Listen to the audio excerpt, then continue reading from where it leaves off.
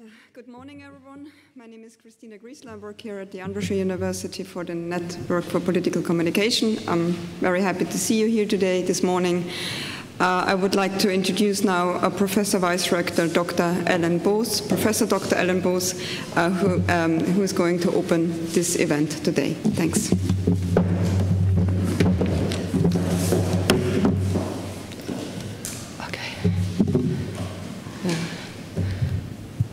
Thank you, Christina.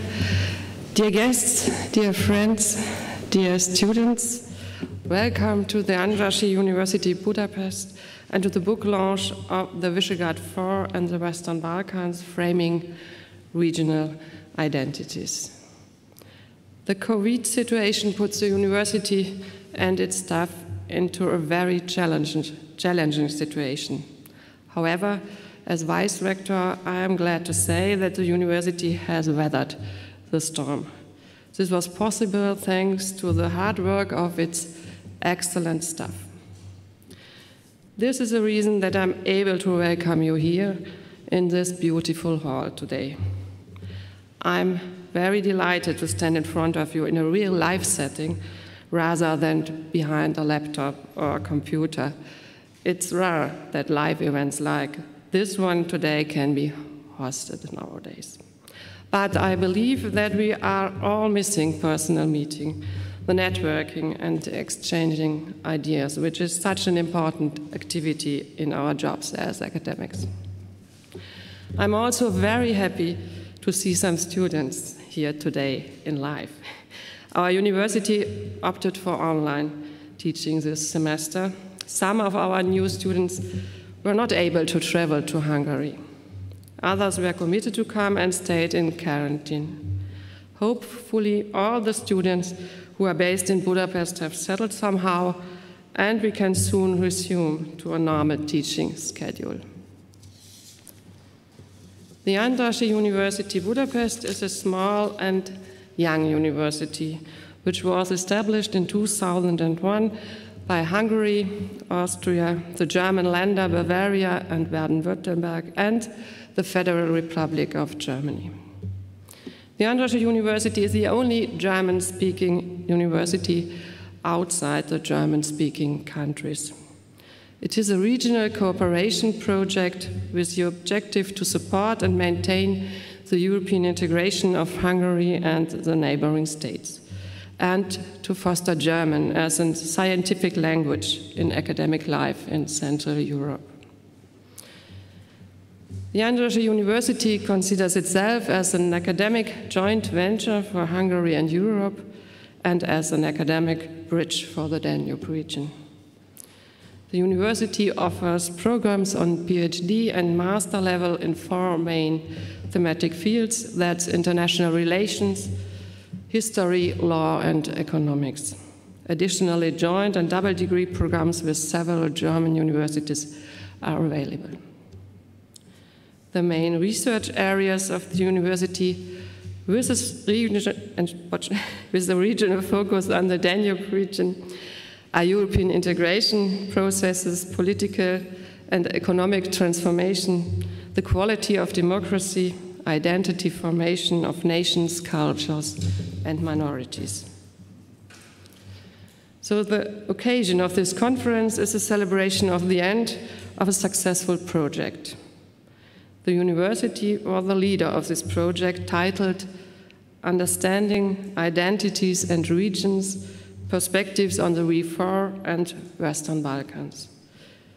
Its main outcome was an edited volume with the title The Visegrad Four and the Western Balkans Framing Regional Identities. Congratulations go to everyone who was involved in the project and to all the authors who contributed to the book and the editors. The book is a very fitting contribution to the research activities of the university. The university is always eager to expand its research networks and to find new partners interested in working with us on current and important topics. One previous project, also financed by the International Visegrad Fund, established a network for researchers from the region of the Western Balkans. This Andrássy Forum of Western Balkan Studies is still active in organizing events with a focus on the region. The V4 and the Western Balkans are regular topics in our teaching curriculum and students have an interest to find out more of the political, economic, and cultural developments and historical background of these regions. This event will bring the project to an end, but we are confident that other projects will, will follow and more research questions in this area of research will be developed. So, as Vice Rector, I am wishing you an interesting event and enjoy your time at our university. I hand over now to the responsible leader of the project, Christina Griessler. Thank you.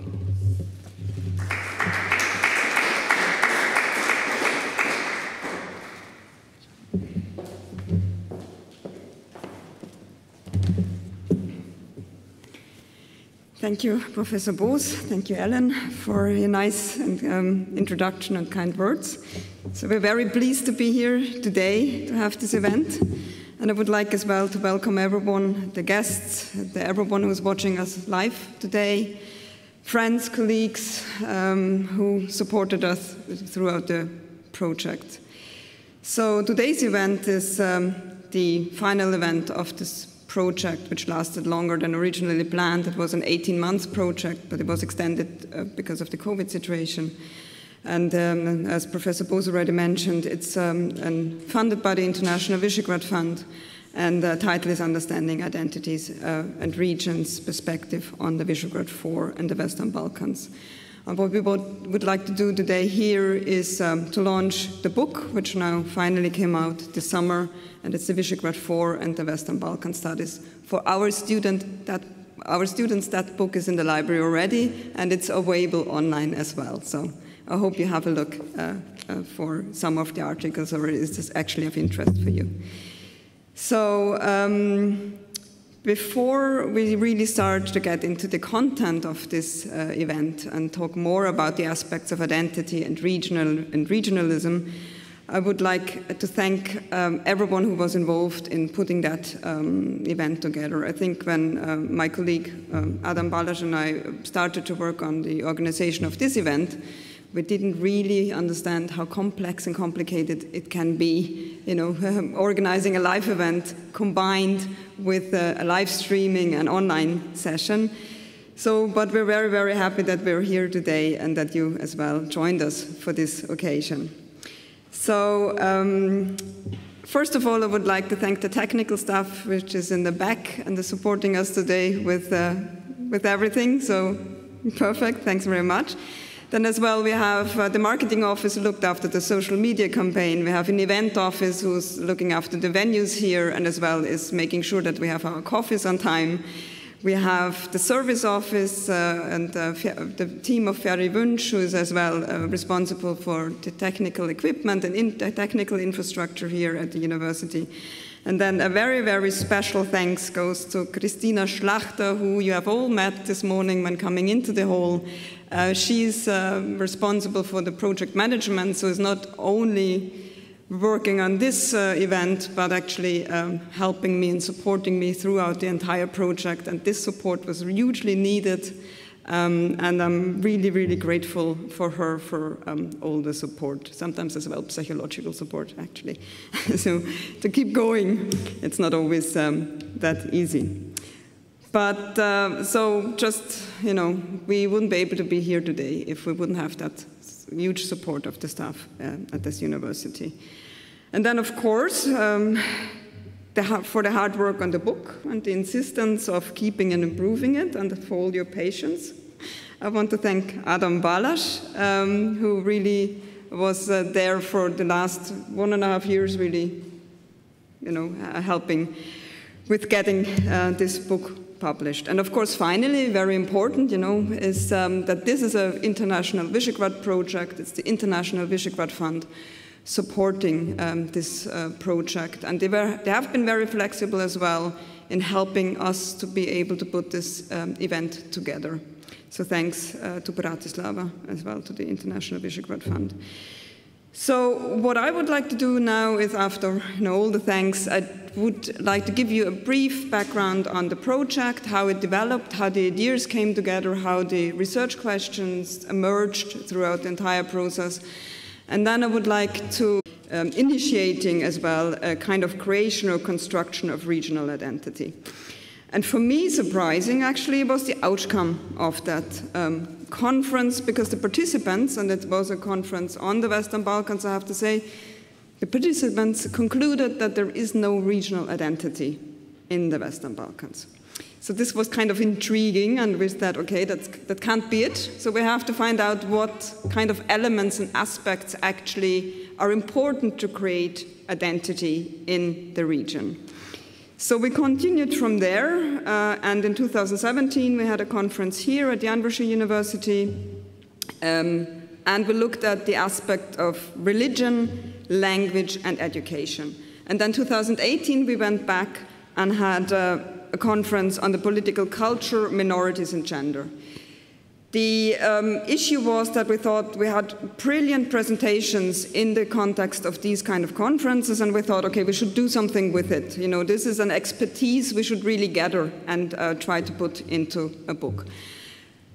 Then, in context with all this kind of organizations uh, um, of these conferences, we thought that we should expand our regional reach and get as well an idea of how regional identity is formed in other regions kind of close by, and we ended up very, it was not, we didn't look too far actually. We ended up um, to look at the Visegrad 4 countries and see how regional identity, if there is regional identity, developed in the Visegrad 4 um, countries. So the Visegrad 4 is a cooperation of four countries. It exists since 1991. It was kind of emerging uh, out of the necessity to work together to overcome the economic and political difficulties of the transition period. Um, the aim was actually to, you know, to access the NATO and the European Union. So there was kind of an experience of rather 30 years um, of regional cooperation, and we were kind of thinking, okay, if there was this cooperation taking place, is um, actually is there a regional um, identity emerging? Um, so we put the two regions in a comparative perspective, or that was the idea, and we put a project proposal in um, in May 2018 to the International Visegrad Fund with the title Understanding Identities and Regions Perspective on the Visegrad 4 and the Western Balkans, and we were happy to get the approval or the project was approved. The partners on that project are um, still the Center for European Neighborhood Studies at CEU, where everything started more or less with our cooperation, um, then the Institute of Euro European Studies um, at the Jagiellonian University in Krakow, the Institute of Political Science at the University of Wroclaw, Faculty of Political Science at the University of Sarajevo, and the Metropolitan University in Prague. And I would like, unfortunately, our partners are not here with us today because of all the kind of uh, travel limitations and restrictions, but I want to thank them here as well for the support of the project and the work with us. And we hope that you know other projects might emerge um, in future as well. And some of the authors and the partners are going to be in the Zoom session this afternoon, which starts at 2.30.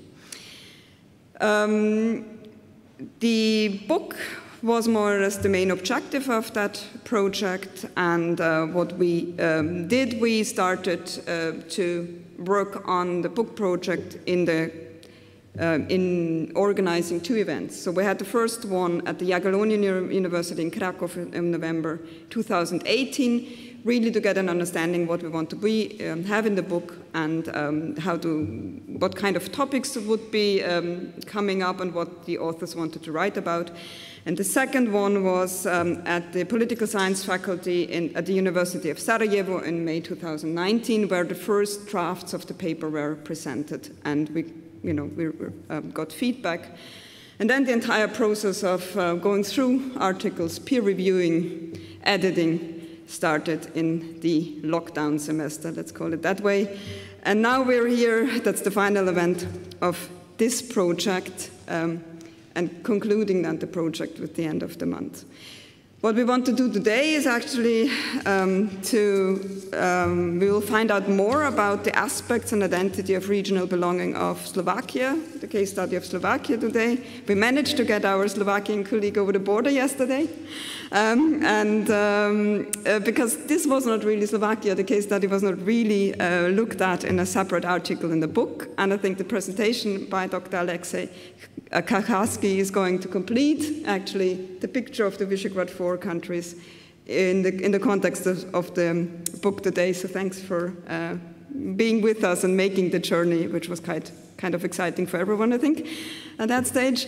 Um, and then um, we will have as well a book discussion uh, by Zoltan Pogátsa as well. Um, who is going um, to give a, a, bit of feedback what's going, what's really going on in the book, and I hope this will kind of as well raise the interest by the students are maybe interested then to have a look at, at what's really in the book. In relation to the Western Balkan case studies in the book, um, we had a kind of a focus on um, the Bosnian Herzegovina, the neighboring countries, and um, uh, Montenegro, and already kind of this of selections of case studies revealed the complexity of the issue of identity and, uh, and as well region, regional cooperation. So, um, and as well political actors using this kind of identity issues for their own political gains. So what I quickly want to address, because I'm not sure if I'm running out of time at that stage, but um, you know, while you're working on those kind of projects and I listen to a lot of your colleagues, some of ideas, some of some kind of ideas pop up in your head, and you just don't know what to do with it. As I said, we had this first conference in 2016 where um, we talked about regional cooperation and regional identity in the Western Balkans, and where the conclusion was there is not such a thing as regional identity. Um, and this was kind of intriguing for me because um, um, what, what, not, what was not featured in any of the workshop and conferences and was not featured in the book is this concept of Yugosphere, so the cultural area described as a cultural post-Yugoslavian space where links and traces of the more, more than 40 years existing Socialist Federal Republic of Yugoslavia exists. So what happened to this cultural space? Since the disintegration of Yugoslavia, the countries worked hard to um, develop an own distinct identity, for example, in creating new words and languages, uh, adding letters to, to the language, um, and as well sometimes to reinterpret history. Um, and it seems that this lived experience by an entire generation who had gone, you know, experienced life in Yugoslavia that this is kind of um, erased, that it's, um, but I mean, my assumption is there must be traces left, which is still interest, should be interesting. And what I come across is, first of all, you know, when, we, when you walk, uh, work with people from the area, mean, they speak a common language. They use a language where they com can, can communicate with each other, although it might be having different, different words or there might be differences. As well, if you meet people um, from the region talking about their expat communities in the countries in, in, Europe, they always would refer to them as their people. And they're not distinguishing between Serbs, Croats, or Bosniaks. So it's their people. Then um, the area of art, culture, and music, so you hear stories about people listening to artists, musicians from the other areas. Um, and there is not this kind of distinction of, you know, what kind of nationality a certain person has. There's kind of an affiliation there. I have one PhD student, she works, for example, on the turbo, of turbo folk music, um, which is kind of a cultural space for the second generation of ex-Yugoslavs living in Slovenia. So, however, similarities are not so much in the focus of the narrative um, in the region, it's rather the differences stressed. So, it's kind of the similarities are pushed out of the picture and the, the differences are stressed. So, maybe we just became accustomed to looking for differences rather than looking at uh, common things, things which we have in common. The, so I think that the cultural legacies of Yugoslavia have been a bit ignored or pushed aside.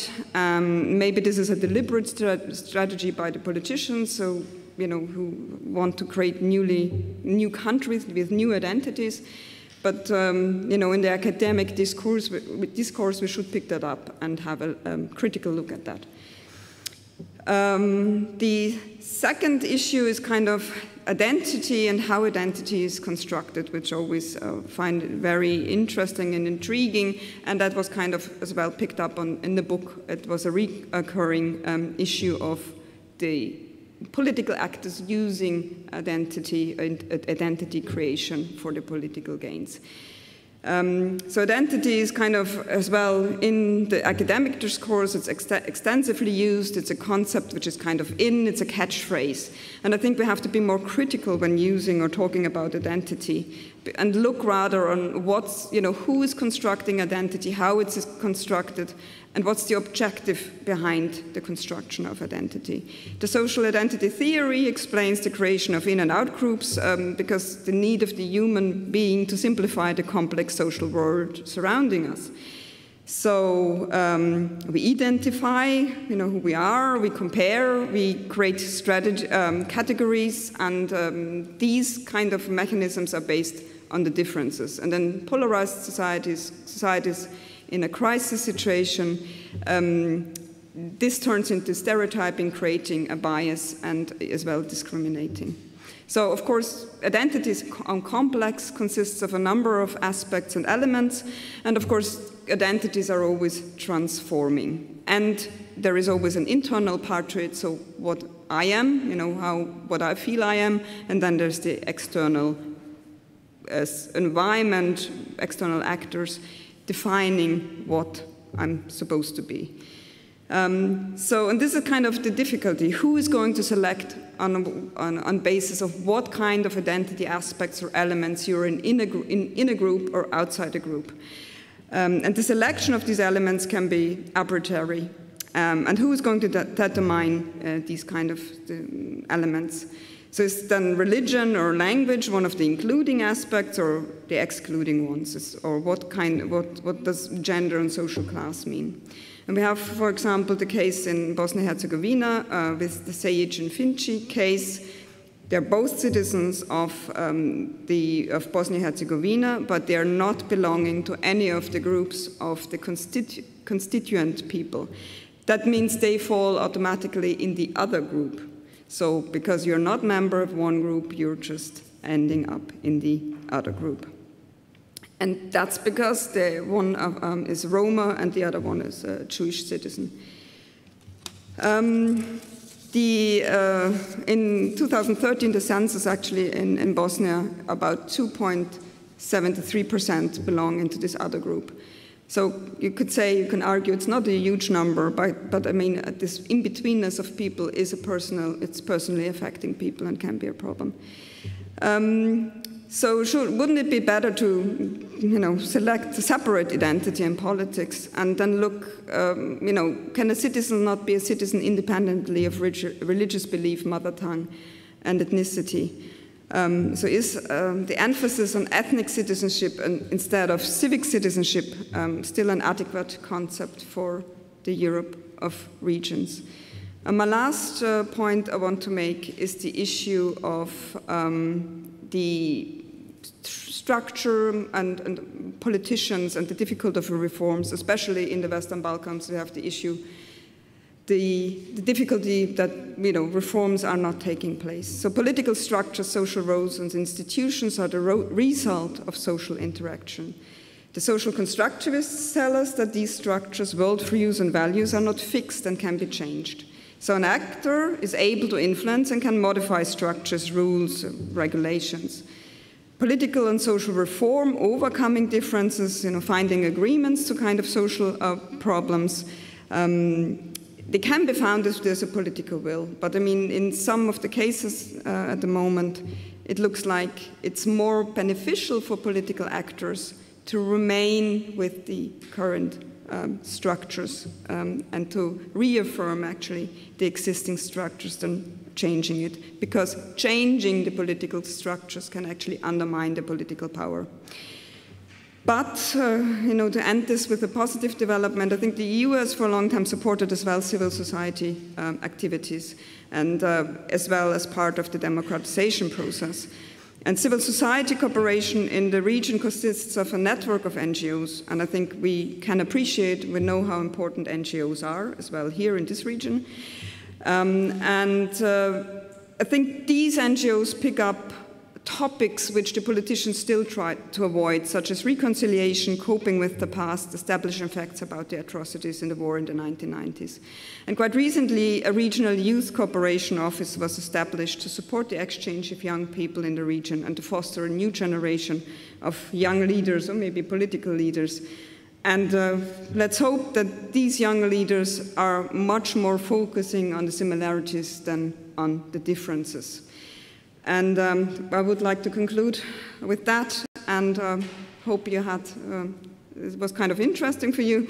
And I'm wishing you all an interesting conference, some fruitful discussions, and I would like to hand over now to Dr. Um, Adam Bence-Balázs. Thanks.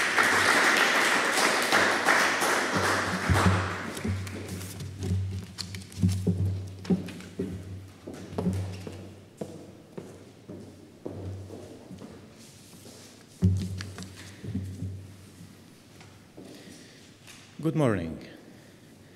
Thank you for joining this live event in person or via streaming. It's great to be here. And before I start, let me thank the Visegrad Fund for their substantial support. And let me express my gratitude for, to the Andrássy University for hosting this event, especially the live part in these hard times. I know that this requires courage, trust, and I'm fully aware that it engages serious responsibility. So once again, it's great to be here with you at this live event. And before continuing introducing um, some of the day's main topics, let me thank personally and publicly you, Christina, for your diligence, your reliability, and most of all for your trust throughout this long difficult, and sometimes desperate process called book editing. It's great to be here, but it wasn't easy to get here um, to this region, Hungary, Budapest, concentric circles. Once again, Europe is fractured. The European space where our two regions belong to is fragmented. There is a security issue the same for all of us, but different countries react in different ways, following their sometimes unclear priorities and following their habits, not necessarily the best ones. I'm not discussing the pandemic part, I seize it as an occasion to think through the current state or condition of the continent in terms of unity, in terms of differences, and regarding the very European space where we live, and concerned with uh, the pre-existing tendency, so it's something that uh, didn't start uh, this year, I'm afraid, the pre-existing tendency to give up our mobility in the name of security and for the sake of our security.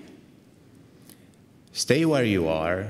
Right now, this sounds good. So right now it makes sense to say within um, rather narrow borders. The problem is that stay where you are easily shifts into stay as you are, be who you are told to be, imitate the stereotype. Today it's wash your hands like on the little picture. Tomorrow it will be put your washed hand on your heart during the national anthem like on the little picture. So that's what I'm concerned with. The virus doesn't want anything, but this absurd episode has to make some sense. It has to make sense, and it will only have the sense and meaning we are willing to give it.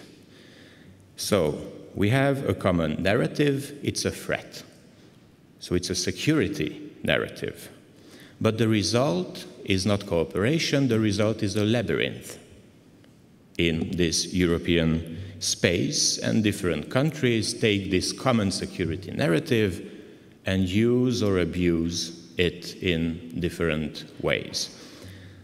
So I'm not annoying you with the virus, I'm actually annoying you with the next security issue that will come. And I think that this situation right now is a major warning. It is on the global level, it's also a major warning on the tiny European level. And for us, it might be a warning that the idea of fortress Europe is a pipe dream. So the idea of an internal European space surrounded by thick and tough external borders uh, should guarantee free circulation inside of the European space. And what we see now is that is the perfect opposite of that. It leads to fragmentation, it leads to a labyrinth. So this might be a warning if we are willing to give it such a political sense. The other major warning on our tiny European level is that we need better maps. In a labyrinth, we are lost, we don't see our situation, we don't know anything about our location, and we only see the small part where we are lost. In fact, we need better maps, and what we see now, following this metaphor, like every time there's a situation, not even a crisis, just a situation, the map we see is the map of national standpoints. So it's a map, it's the map of the Europe of nations once again, which is an avoidable reality. Nations are here to stay. We can think of other um, smaller or larger structures, but the current standard, if I may, the currency is the nation state. Question is, is this the only map? Is it an exclusive map, like extremes a bit everywhere in Europe often harshly demand? Which is a bit strange to demand a Europe of nations because that's exactly what we live in a Europe of nations. Um, are there other maps? So, is it an exclusive one? For instance, regional maps coming to the topic regional maps not to replace national maps, but to complete them. To complete them in order to get a better view, more perspective, better means of orientation in the labyrinth, in order not to be stuck in predetermined corners of the labyrinth. I mentioned extremes, and mainstream extremes unfortunately bring me to East Central Europe and southeastern Europe, more precisely to the Visegrad Four and the Western Balkans. These are two very different regions despite their proximity. One is in the EU, the other would like to be. One is very proud to call itself, with quite some exaggeration, Central Europe. The other one has been given the name Western Balkans and it's a quite stigmatizing level. And here we find this problem is that how to define regional identity now that the Yugosphere seems to be a bit cancelled. Um, so that's another difference, but there is a common point. There's more than one common point. The common point is that in both regions, the national narratives are quite explicit and exclusive.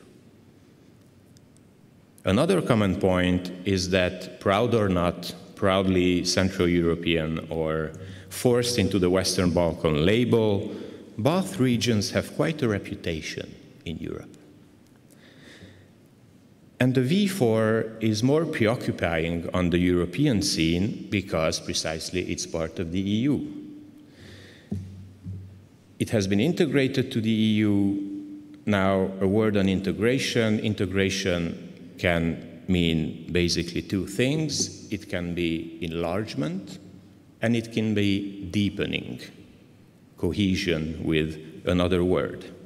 Now, enlargement is easier to grasp, to understand on the map of nation states. You have nation states and you add other nation states to a pre existing group. That can be followed on the map of nations. Now, deepening cooperation, cohesion, now that's a bit more complicated, especially on a map of nations, because deepening is not exclusively international. It's a multi level process. And here we see that when we talk about regional realities, it's not only one circle, it's not only one dimension. Take, for instance, border regions. Take the border region between Austria, Slovakia, and Hungary. What kind of place area is that? Is it a micro region? Is it a local territory? Well, it's a bit of everything because to make such a place work, with the border not um, uh, at its limits but at the very heart of it in a slightly contradictory way, you do need cooperation between nation states, the three of them, but you do need also the whole European construction around them in which they are embedded. So you do need a local uh, level, you do need the regional one, which is in this case Central European, and you do need the European one. So it's a bit of all of these together. And this might be one way to think regional cooperation a bit further.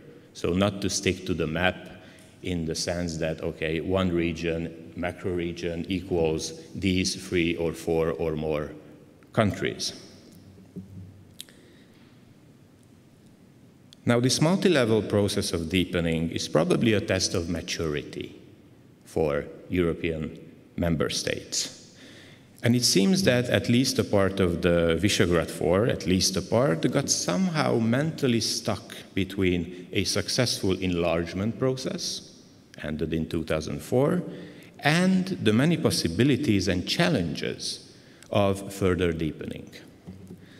Coming back to enlargement, chances are that the V4, perhaps uh, not on purpose, the V4 are blocking the Western Balkans joining the EU. We have a great chapter in the book, a media analysis on how the V4 appears in the Czech media by Andre Daniel. Now, this research should be extended to, to the European media, how the V4 appears in Western European media, among others, and what does it translate? And the problem is, my bitter hypothesis uh, at least, is that the V4, undoubtedly a region in Europe, has become the name of a, of a region against Europe. Why does it block the Western Balkans? Do we think that uh, Western Europe is eager to integrate countries that might cease to be European or, or at least act uh, European right after joining? So, whatever V4 political leaders' standpoint is on the Western Balkans, fact is that, among others, founding members of the EU do not necessarily wish to repeat 2004 and its failures. So this is one connection between these two neighboring regions beyond political discourse in particular. So let me come to the main question for the V4, which will be um, this afternoon's first panel. It's a very simple question. What's wrong with us? Not with you, not with them, us and not us in the usual and honestly quite boring us and them um, combination, us in the inclusive sense of an enlarged regional community. Let's ask this question on the regional level. How come that we, some of us believe that the EU is about having one specific political standpoint, like in one circle? Like in one hemisphere, it makes sense to have standpoints, but on the European level, we are moving between, shifting between concentric circles. These are not exclusive, and these are not against each other. The regional level, regional cooperation is not meant to be against the continental level and continental cooperation. These are not against each other, it's a matter of shifting from one to the other. It's not about just one or the other. Um, political standpoint, besides the EU, is not that united, It's not united enough to, to have like one standpoint, one point of view, one opinion on things. So I'm afraid, once again, it's a sort of uh, chimera. Another question inside of this what's wrong with us? If the V4 is such a united front, um, then where are, for instance, the common or shared history textbooks between, for instance, Slovakia and Hungary? Not identical ones, because once again, the standard is still the nation state. Shared ones that would complete each other, textbooks not only in history but also in literature, textbooks that agree on the facts but propose different points of view on the agreed facts and events. Where are these? Other question. In the V4, in East Central Europe, do we really know each other? How well do we know each other? How much do I know about Slovakia, for instance? I'm very much looking forward to learn something at last about Slovakia soon because I'm afraid that we don't know that much about these neighboring countries. And often, I'm afraid, when Central Europe or the V4 is mentioned, it tends to be a mere extrapolation of a national experience, of the national situation. Where is our legend? And the privilege of East Central Europe was to experience that process of becoming Europeans within a reasonably short lapse of time which other reason, regions more to the east and more to the south, especially with the Yugoslav wars, couldn't experience. We had this privilege, and now we are at the other end. We are blocking um, not only further enlargement, but we are also showing tempting but very negative examples to Western Europe because our countries, some of our countries, not only show that such regimes are possible, what we are showing is that this is possible in the EU. So that would be on the V4 to announce this afternoon's um, first panel. Let me come to the Western Balkans for a second set of comments and opening questions. We have focused in our book on regions to try to add another map to uh, the map of nations. Uh, so something that might transcend the usual nationalistic patchwork and its local shortcomings. So let's try to enlarge things, let's try to think through our own shortcomings on another level. And the region was this concentric circle halfway between the national or local and the continental.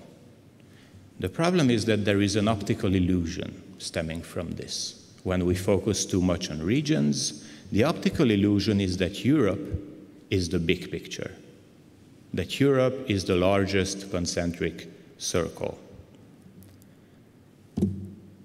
Good morning, we are in 2020.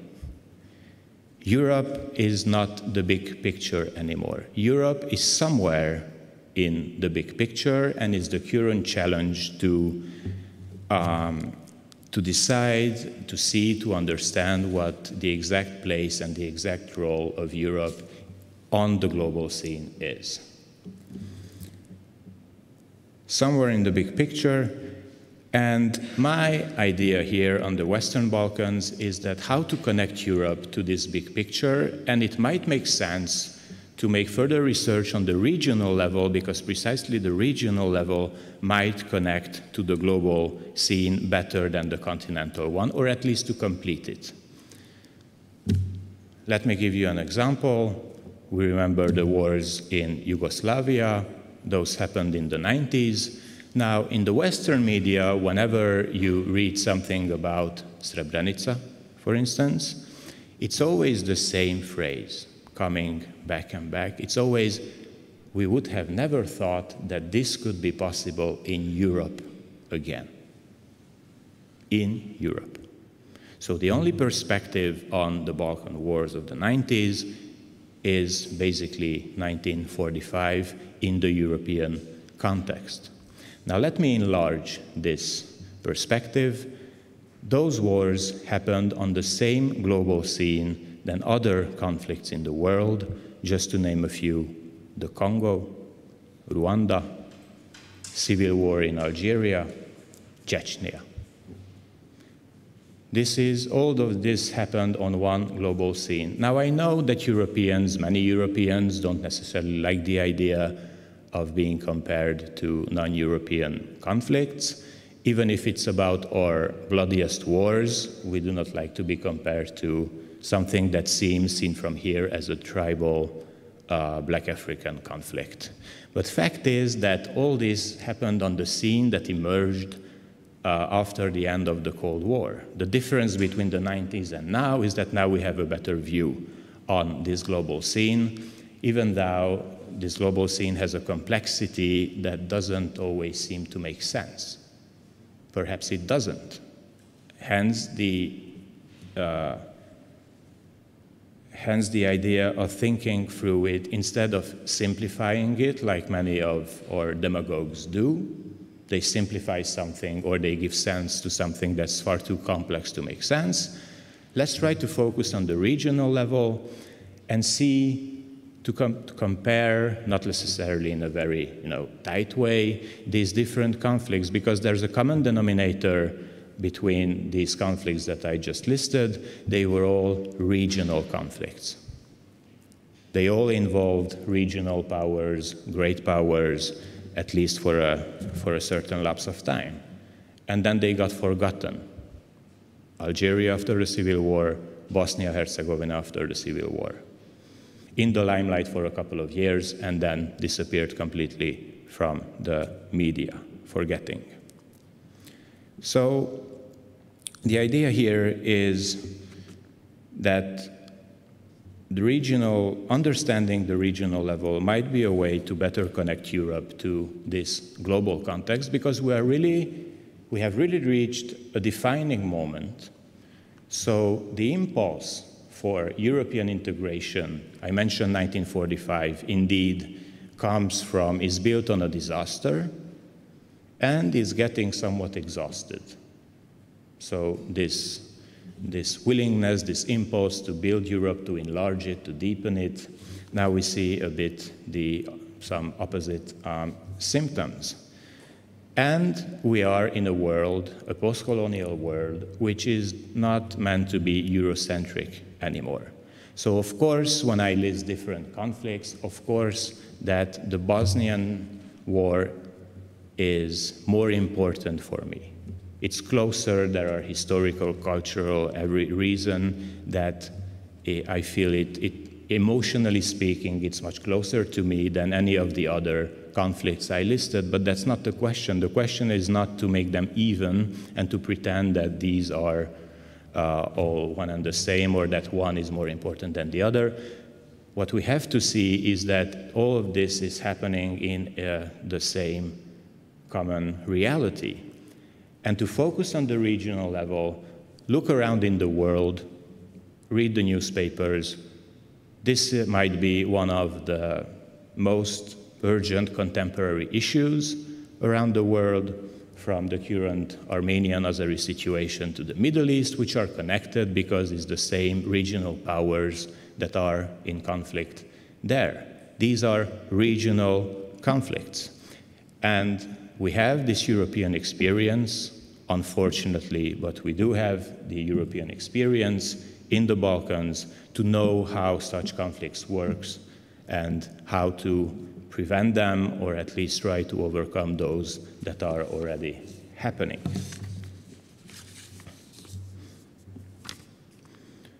A short set of last set of short comments on identity. I mentioned uh, the idea of staying where we are and staying as we are and being what we are told we are. Now, that's the exact opposite of become who you are, to become yourself. Not to stay what you are told that you were determined to be, but to become.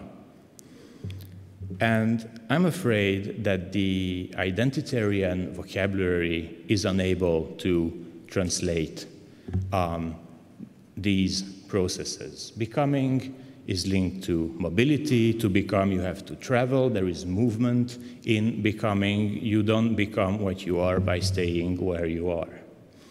And concerning the V4, the idea is not to become something else than we are. To the Hungarians in the room, we will never be Austrians. I don't know if this is good news or bad news, but we will never be Austrians, and that's not the aim. The aim is to become Hungarians. The aim is to become Central Europeans, and the aim is to become Europeans because these are supposed to mean one and the same thing. Thank you for your attention.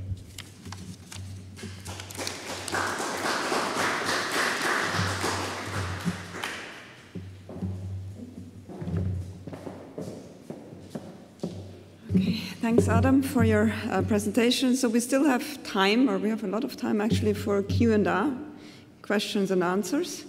So um, the setup is I have a microphone here, which I can um, give you if you have any questions. Uh, and we are going to turn around so that we can actually um, answer um, the questions. Um, please feel free to ask if anything was unclear. Then uh, we, uh, you know, we hope to clarify um, issues. And then only after that we have a coffee break because we had a, a, slight change in the program. So we will have the Q&A and then uh, a coffee break and then we continue. Thanks very much. Okay, second.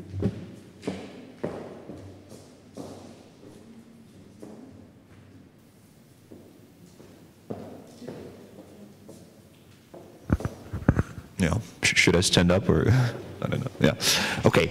Um, thanks. Uh, thank you for very interesting presentations. I'm looking forward to the debate. Uh, I have more of a comment, actually. Um, I, I, don't know much about your research project, which had to do with the Western Balkans, um, but I found it interesting that you actually expected um, uh, that that particular construct will evoke some sort of shared identity, because to me, the Western Balkans is something which is, uh, you know, externally uh, externally imposed on that region. I mean, it's the gaze of, of I don't know what, international institutions, uh, external players. So, um, I mean, I would not even suspect that, that, that there would be something under that particular label. Of course, there are other things that are shared across the region, but I just thought it was interesting that you expected to find something. thanks. Okay, thanks for the question. I think um, it's maybe from an outsider's perspective to um, you know, because I'm an, I'm an outside of the region, and I mean, I grew up still with Yugoslavia in existence, and we always, you know, went to um, Yugoslavia for holidays. So maybe because at the time or during my life, it was very much constructed as a space with a lot of similarities. And you might not question it. And I think this is exactly it. I think it's kind of, you know, why Srebrenica was suddenly in Europe. And now the Western Balkans are no longer in Europe. You know, this is kind of, you know, always the perspective and always how, how it's phrased and who is deciding what part is in and what part is out. Yeah, exactly. I mean, who knows what is in Europe and what isn't? exactly. So I think, and for me, it was kind of there's too many similarities for me in the Western Balkans, except, okay, we have the Albanian community, of course, which are kind of uh, you know, very distinct, maybe from the Slavic uh, speaking. Um, uh, communities in, in the region. But we can say the same about the Hungarians in the Visegrad countries, you know. I mean, why do the Hungarians feel that much included in the Visegrad Cooperation? They, you know, have kind of different traits. Because Visegrad is in Hungary. but, uh, so it's... Um, uh, but it was kind of, I mean, you understand that there are always, I mean, and we talk about regions you know, regions consisting of several um, states or even parts of states, you know, this, uh, larger regions, but there are the smaller, the micro regions. So there might, you know, the different regions within the countries of the Western Balkans.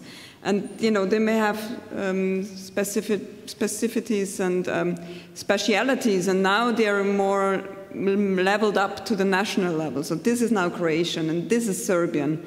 And then um, you wonder, you know, is it that specific for this country or you know, we had this uh, the cucumbers from Slovakia and yeah. Hungary. You know, you know, is it now typical Hungarian or typical Slovak? You know, or maybe then the Austrians come in and have a, you know, have their cucumbers as well.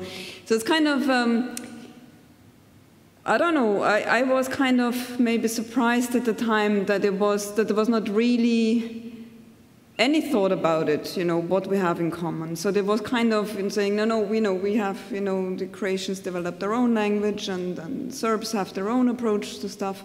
So, and that that was coming from a young, younger generation of people um, from the region. I think it kind of surprised me because I thought there must still something be left there, something. And, you know, sp speaking in the same language, I thought it's kind of interesting that the, the identity is so much based now on the differences and looking for the differences rather than saying, you know, but there is some kind of uh, something um, which, um, you know, brings us together or gives us a kind of even mental map which we can refer to coming from a region. And still you have this kind of situation when I was talking to a lady in, in Bosnia and Herzegovina and she realized I was from Vienna and she was like, oh yeah, yeah, there's so many of our people there. You know, every time I go to Vienna, I meet my people. And I was like, okay, who are your people now? You know, is it a certain specific? But it was kind of this, this you know, the community. Um, and this is kind of for me fascinating. So therefore, I, I thought this kind of just maybe not addressing the, the, the, the, the elements which are um, people from the region have in, in, common. But this is maybe an outsider's perspective, but I think something to discuss and look into. Okay. Any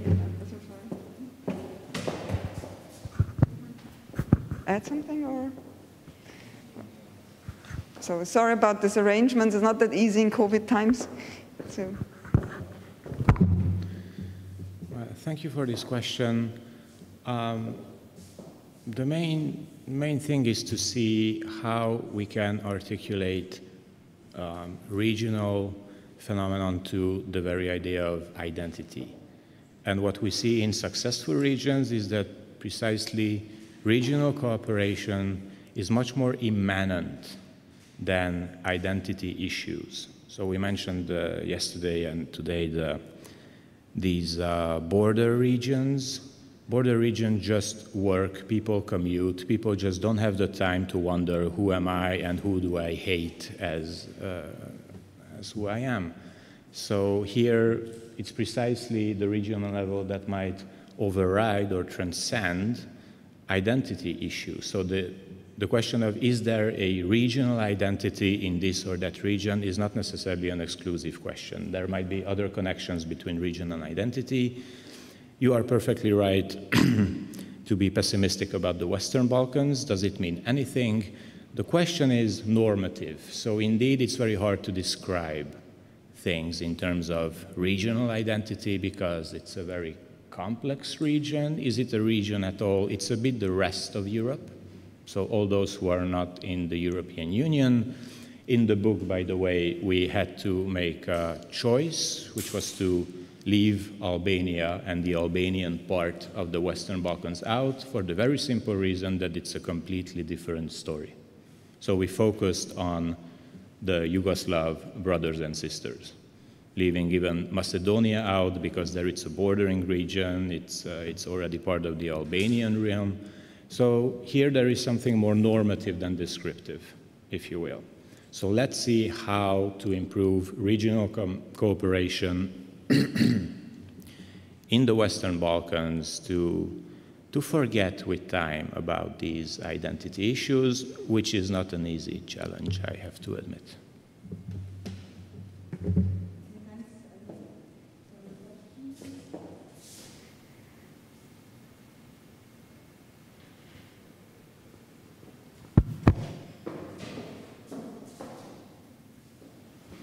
Good morning, everyone. Uh, I would like to uh, rather give one comment uh, to uh, you, Adam. I would not, how to say, um, although I agree with many of the statements you gave. I would not put away with the state level um, in a, let's say, one cut way, because to paraphrase the constructivist um, paradigm, basically the state's policy is what the state makes out of the national policies in the sense that I would say if there is a political elite in a state, in a given state, to cooperate, then uh, a lot is possible also on the regional level. To give you two examples, uh, I grew up in a border region in Austria bordering Switzerland and Germany. And although Switzerland has not joined the EU, uh, there has been a very uh, extensive uh, exchange and cooperation in the border region uh, over the last 20 years, as it was always before also. Good, I agree, there is a cultural proximity between these three countries because of the shared language and so on, but there is also a political will uh, that uh, it is normal to cross the border from one country to the other. Or a second example, a positive example in COVID times is we all heard that Sweden uh, was, if you want, uh, stigmatized to a certain degree because of the more liberal policy towards COVID uh, by other states. So the travel restrictions were uh, uh, countered by citizens that uh, southern, people who wanted to go to southern Sweden, to Malmö or Gothenburg, they just crossed the border to Denmark and then flew out of Copenhagen to wherever they wanted to go. So there was a kind of, let's say, a spirit in these two countries to counter restrictions. And I think it is not by accident that, for example, people from Szeged do not have the idea to spend a shopping day in Temesvar or a shopping day in Novi Sad, although it is, I think, maybe one hour away by car, which is a reality in all the border regions. A Milanese goes to uh, Ticino, a uh, person from St. Gallen in Switzerland certainly travels to Austria or to Germany for shopping. That's something, an everyday reality. So I just reinforce my thought. Uh, the mind frame of the political uh, decision maker at the state level is important and is perhaps, as you also um, said, is at the moment the most decisive level. You rather stress the disadvantages. I perhaps wanted to bring uh, these positive examples also. Thank you from Western Europe.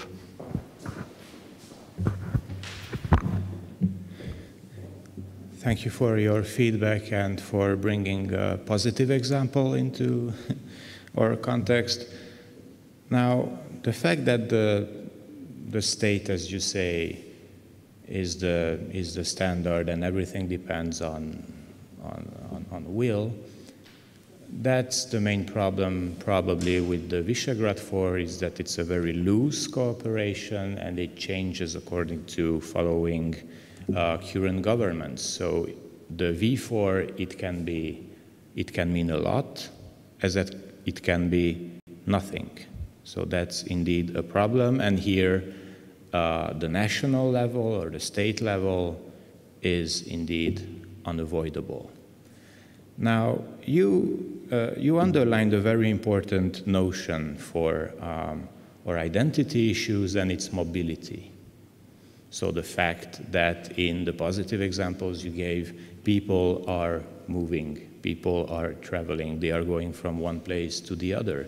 And mobility is indeed a concept to perhaps to rethink and to redefine because mobility doesn't mean that you have to go far away, like commuting between a suburb and downtown. I wouldn't call that mobility. Mobility is about the fact that you can go wherever you want and that you are willing to.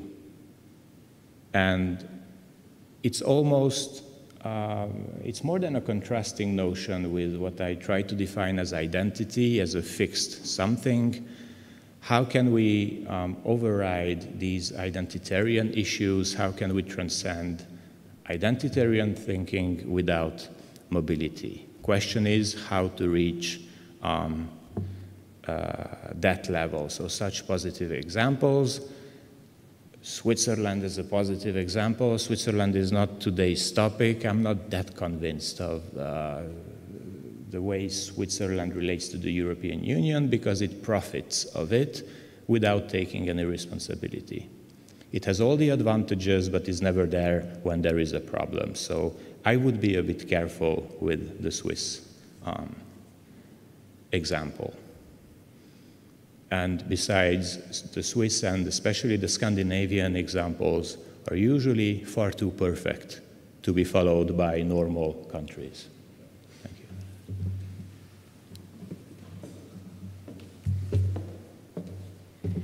Yeah, thanks. Just a comment as well. Um, it was kind of um, telling because uh, in spring, when the first lockdown happened, that slowly, slowly opening up the borders again. I mean, it was kind of necessary, you know, the, even between Austria and Hungary, it became very um, clear that you can't shut the border really that tight.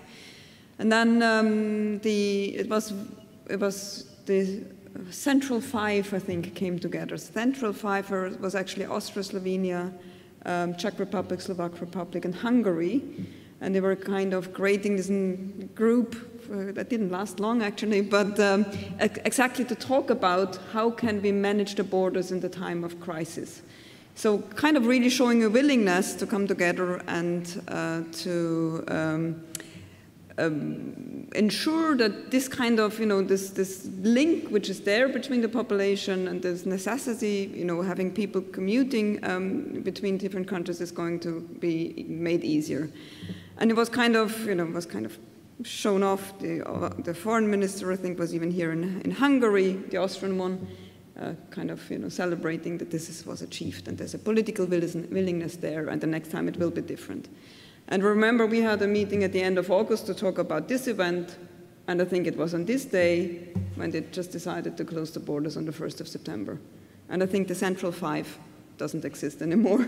so I haven't heard anything about this. So there might be willingness at a certain period of time, it looks good, you just have the social media marketing campaign, whatever, and then suddenly a political decision, it's just one political decision can undermine those kind of um, developments. And it's kind of, you know, what should the population think about then? Um, in you know how to deal with it because we still I mean we have students here and I know I had the first lecture in the morning asking you know where they are and how they are a lot of students were still in Germany, didn't come. Uh, a lot of students, or you know, there were the eager students who really wanted to come to Hungary.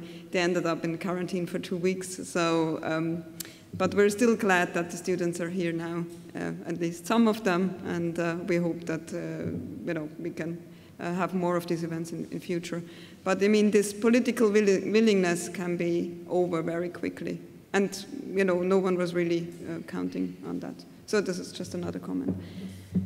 Okay, is there, can be comments or can be questions? So we take uh, any ideas um, before we go to the coffee break. We still have a bit of time. Or is networking more the idea? Okay, is there? Ah, is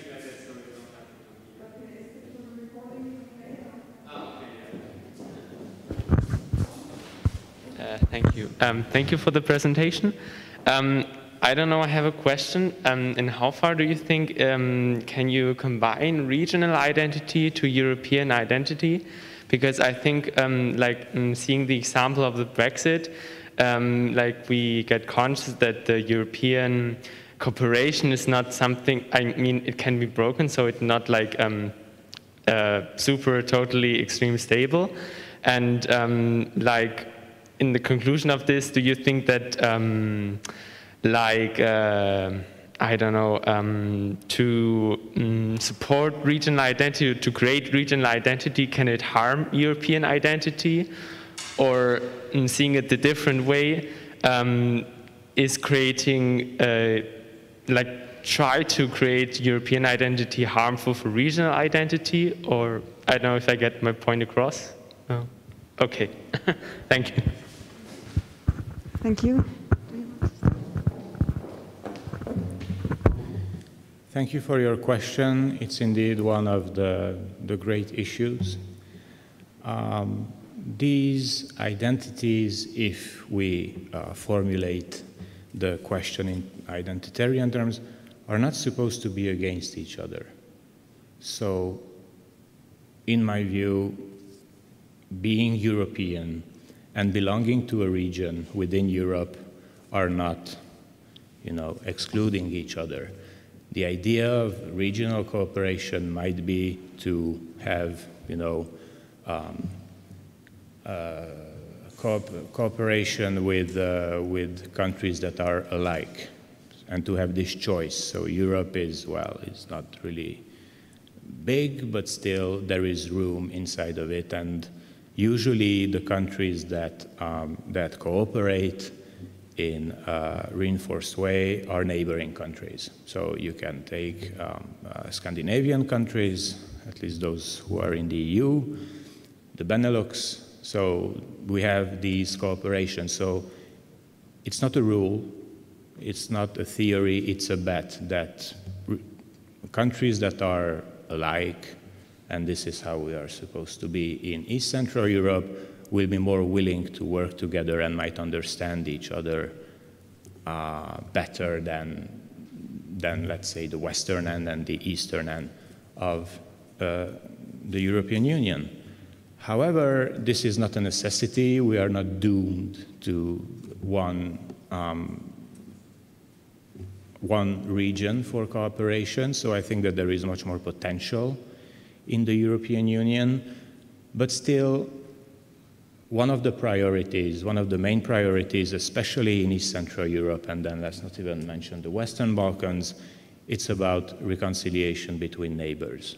So this is what regional cooperation should be about. This is what regional cooperation should help to, because, well, there are problems already in East Central Europe, but when in a region where there was war uh, in the 90s, it's, it's another issue.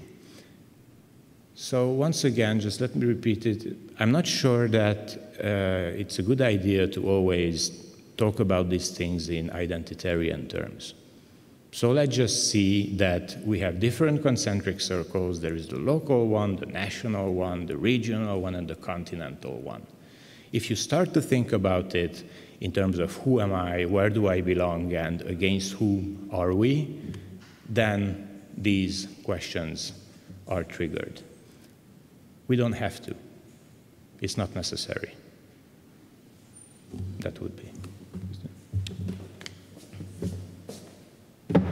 Yeah, it's an interesting question and a quite uh, often asked questions because we, if we want to develop a European identity, do we have to give up another identity? And I don't think so. I mean, when you travel abroad, it depends where you are. You know, when you go to South Africa, for example, and someone asks where you're from, you know, then you start off with, you know, I'm European, I'm from Europe. And that still, you know, then they might know, you know, where Europe is. And then they ask, so where, which country in Europe? And then you go into your country or even on a regional level, you know, if you meet an Austrian and say, yeah, yeah, I'm Austrian. And then they will ask, you know, because you identify with a certain region where you grew up.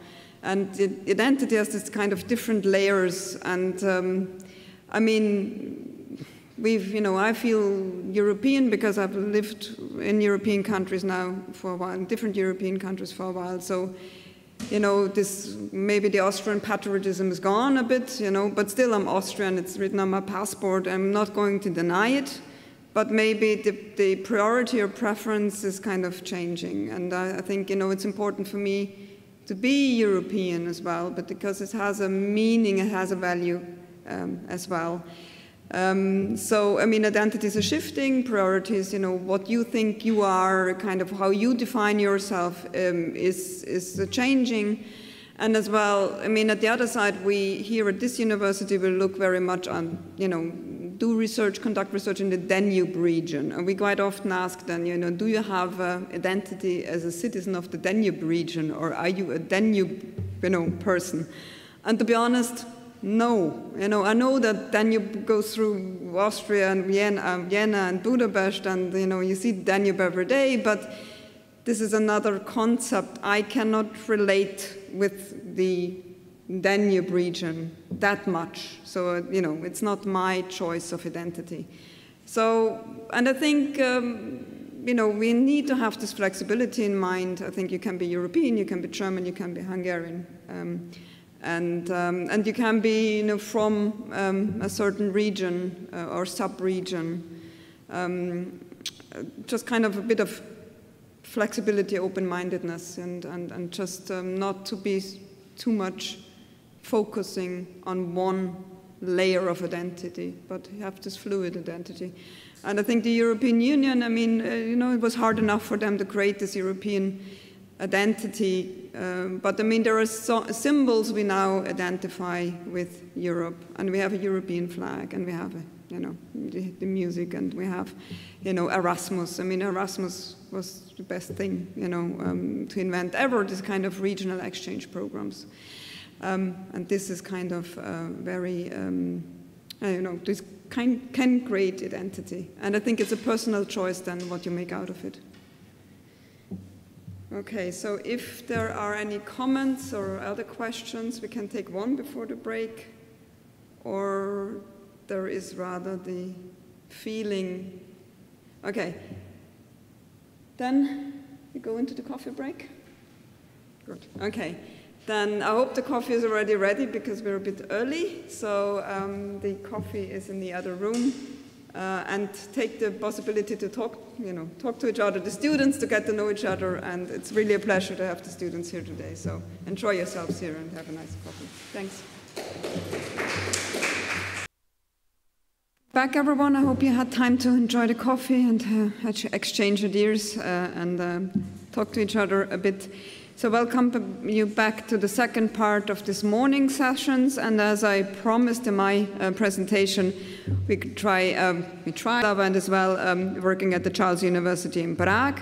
And his um, research uh, interests are based in uh, identity aspects and as well international relations um, of um, Slovakia. So um, we're very happy to have you here, um, and we're eager to learn more and find out more about Slovakia now in the next hour. Thanks very much.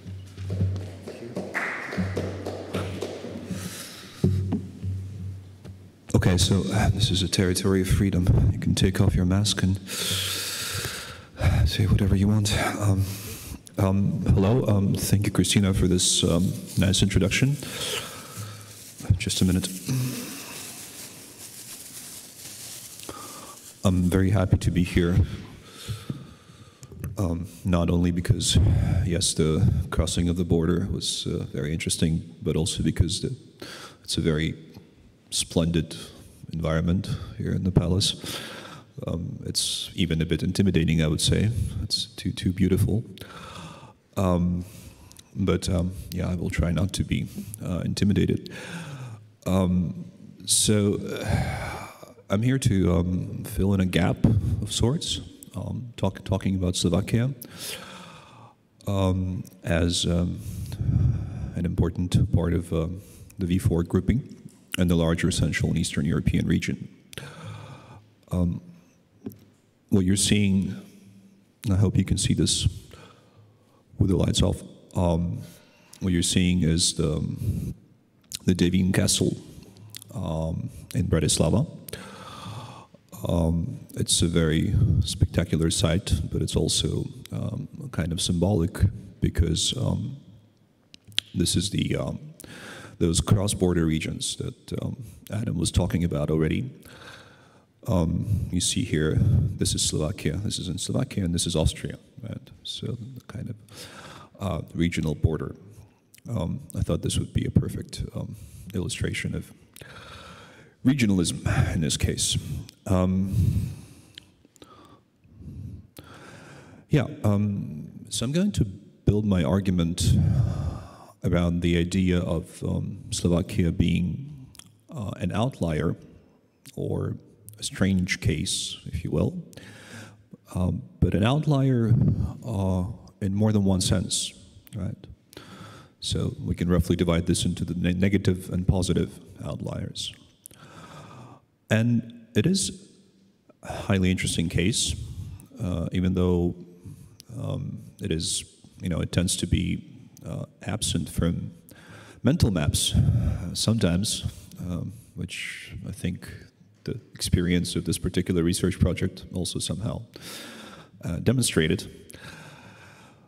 But um, somebody who's from another country, something I forgot to mention that I'm not Slovak, uh, although I've lived in Slovakia for uh, many years, and it's a strange thought that I've lived in Slovakia longer than anywhere else in my life. I would never thought they would come to that. Um, but as somebody who comes um, from another country, which also tends to be um, absent from mental maps, I can totally empathize with, with Slovakia in that respect and in, in many other respects. So um, let me turn to popular culture.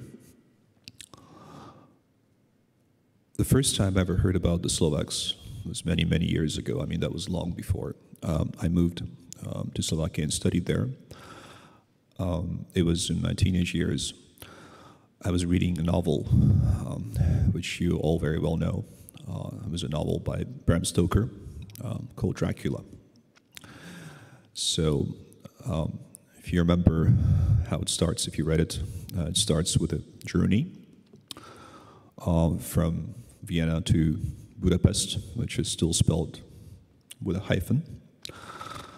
This is the end of the 19th century. And uh, you see there kind of a, you know, an, a very Orientalist, Orientalist um, take um, of the narrator. So it feels like leaving the West and entering the East uh, once you cross the border into the um, Hungarian part of um, the empire. And of course, this immediately uh, evokes uh, Larry Wolff, the idea that you travel 10 centuries back uh, when you cross the border into the so-called Eastern Europe. So there's a general Orientalism um, in, in, that novel, but also there's a reference to, to the Slovaks, um, and, and uh, this, is what, um, this is what it looks like in uh, Bram Stoker's text. They're the strangest figures that we saw in that Oriental environment. Um, they are more barbarian than everybody else. That's how uh, Stoker depicts the Slovaks. Um, so uh, this wasn't only my first um, image that I got many, many years ago as, as a teenage reader of the Slovaks. Um, apparently, uh, this is the first, if not the first one, but then one of the first ones, one of the first images in Western popular culture that, that Slovakia uh, um, you know, that Slovakia received uh, one of the first depictions. And I remember how this was discussed at um, a conference organized by the Slovak Foreign Ministry. Uh, it was a conference on public diplomacy and the image of, of, Slovakia in the West. And they said, you know what, we, we found this passage from uh, Bram Stoker. Do you know it? I said, yes, I, I know it. I've read it many years ago. Um, why am I talking about this? Well, uh, because um, a lot of the discussion um, that was taking place, um, that, that was um, a lot of the discussion in the book, um, uh, had to do with the relationship between the region uh, or the regions, in the plural, the V4, uh, Central Europe and the Western Balkans, and the Western other. Right. so this is the gaze, as they say, of the Western other um, one of the possible, you know, ways. Um, one of the possible images, um, and um, that image the strangest figures that we saw uh, might just might have something to do with um, um, the idea of, um, of uh, Slovakia being an outlier, right? Uh, a kind of a laggard, um, you know, uh, a nation that has fallen behind uh, other nations, even um, spoken from the regional perspective. But that's just one sense in which it can be seen as an outlier. Uh, like I said, there are two outliers here. Um, so switching from popular culture to um, to a bit of history, just to understand the context, um, we'll talk a bit about the historical context of um, Slovak um, nation formation, uh, formation of national identity. So um, there are a couple of uh, there's a couple of important points here, um, and um, you will, or Czechia as they they now decided to call it, but I can never get used to that um, term. I can't believe I haven't pronounced it. Um, so the first thing to start with, the most obvious thing to start with, is of course that historically, um, if we look at the 19th century uh, context um, and and and, uh, and earlier, there is no territorial entity uh, in which um, Slovak nation building could be anchored. Uh, if you compare that to, let's say, Poland, uh, with a tradition of the Polish kingdom, or Hungary, with a tradition of Hungarian kingdom, which is more or less territorially delineated um, then you see a problem here. Um, you cannot anchor um, Slovak nation, national identity in, in, uh, in a particular uh, territory, nor um, in a set of historical political institutions, like the Kingdom of Hungary, for example, right? Um, or or uh, Polish Kingdom, or even the, the Czech lands, the lands of the Czech crown, right? Which is also a historical tradition of statehood. So the Slovaks um, um, in that sense, were um, in, a, in a rather unfavorable position because uh, they could not anchor uh, their national identity building. In a, in a problem with that, of course, being that Central Europe tends to be rather mixed ethnically. Right? So it's very difficult to delineate uh, an ethnic territory, uh, exactly because um, Central Europe is quite multicultural. Right?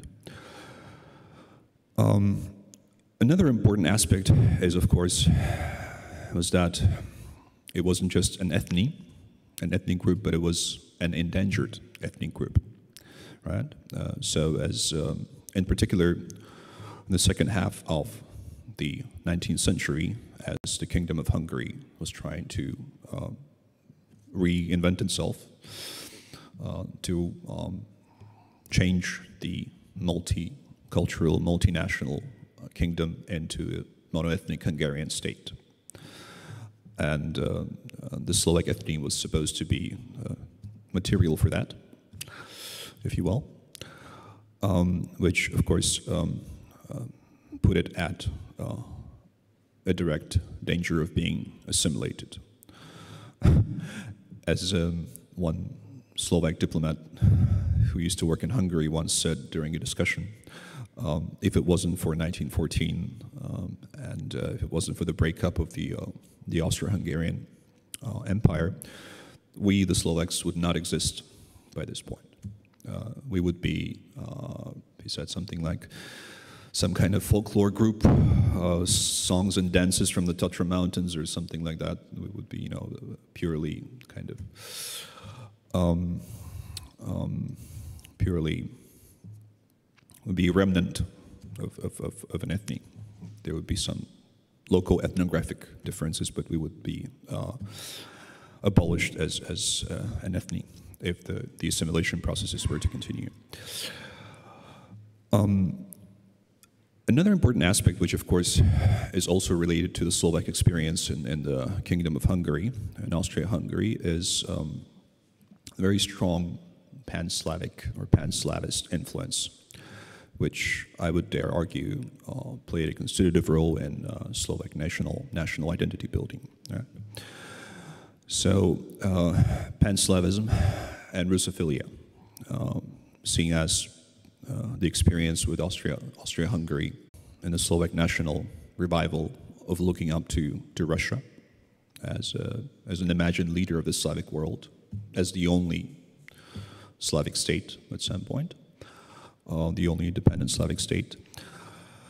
Uh, and uh, this is um, a tradition of uh, being skeptical or critical, um, um, critical of, of uh, Austria-Hungary and of the West um, in general.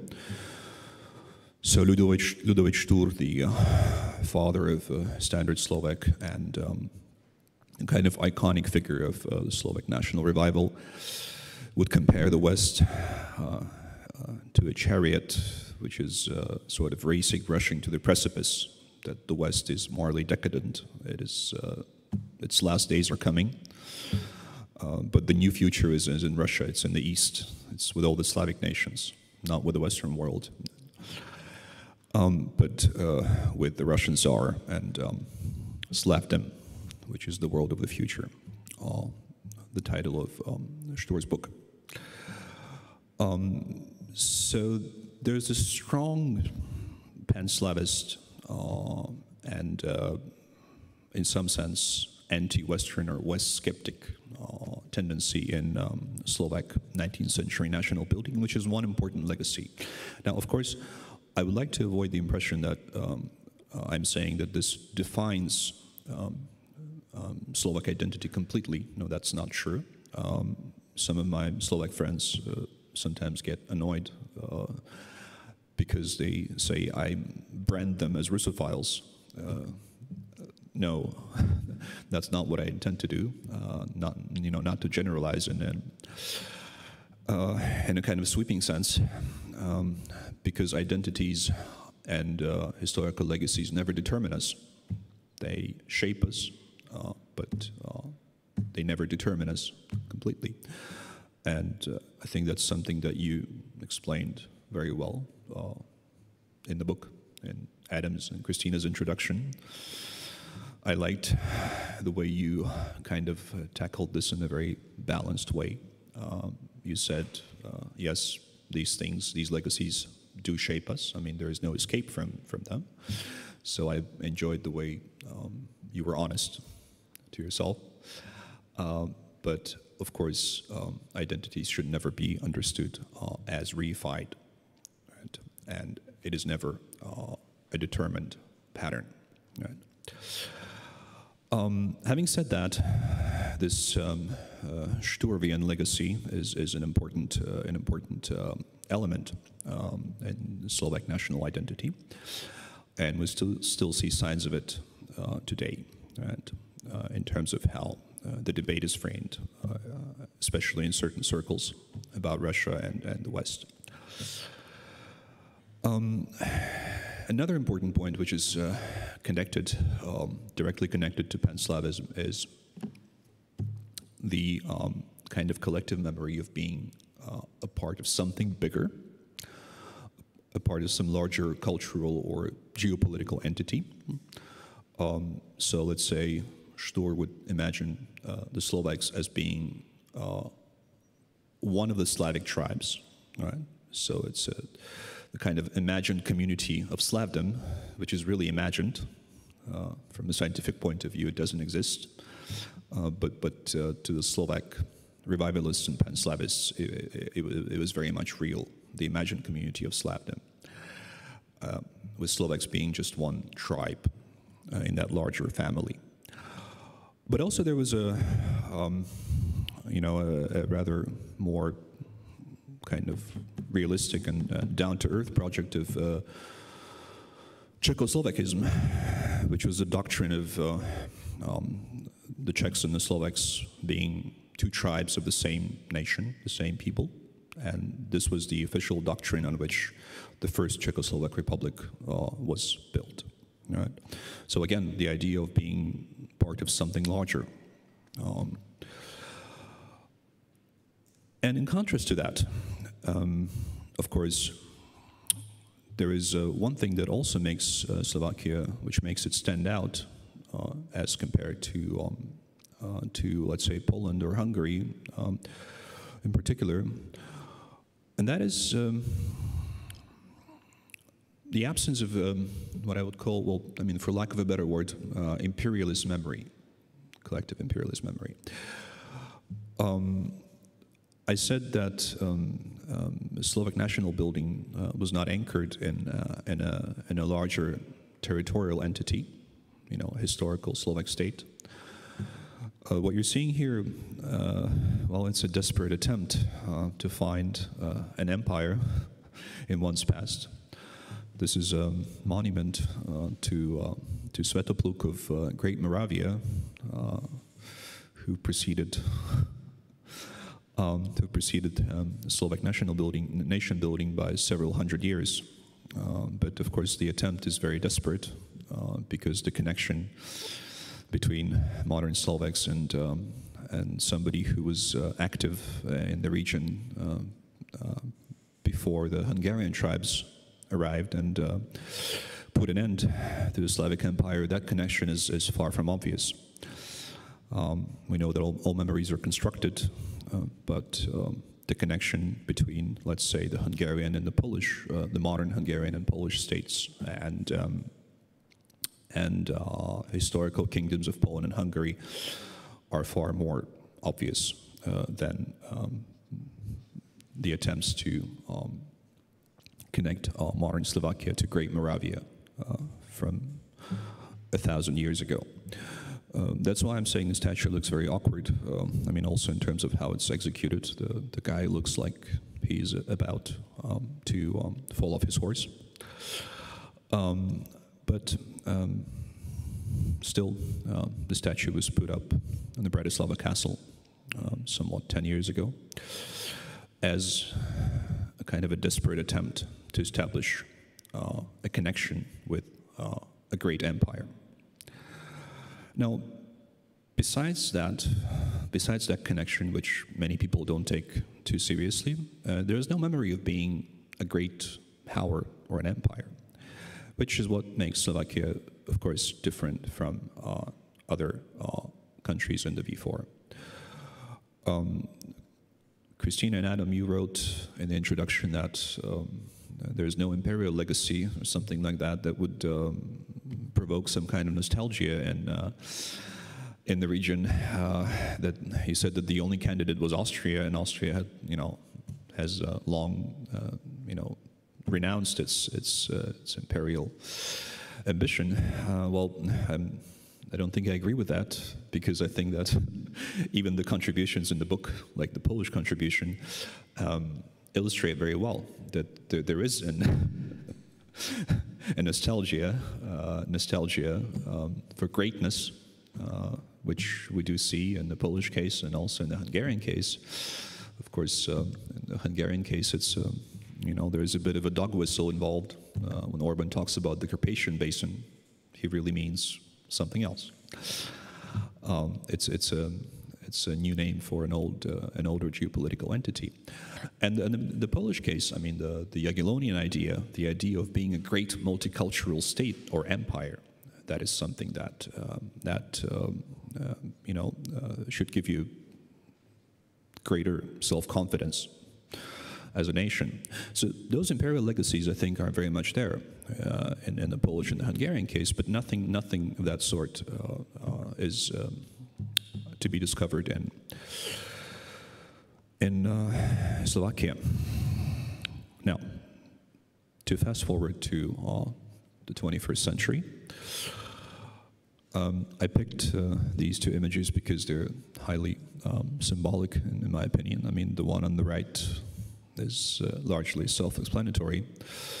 Um, the one on the left is um, a Slovak um, anniversary euro coin, which is dedicated to none other than Ľudovít Štúr, um, the father of um, Standard Slovak, the Russophile, the critic of the West, um, who is now portrayed on this anniversary uh, euro coin, uh, which I find highly ironic.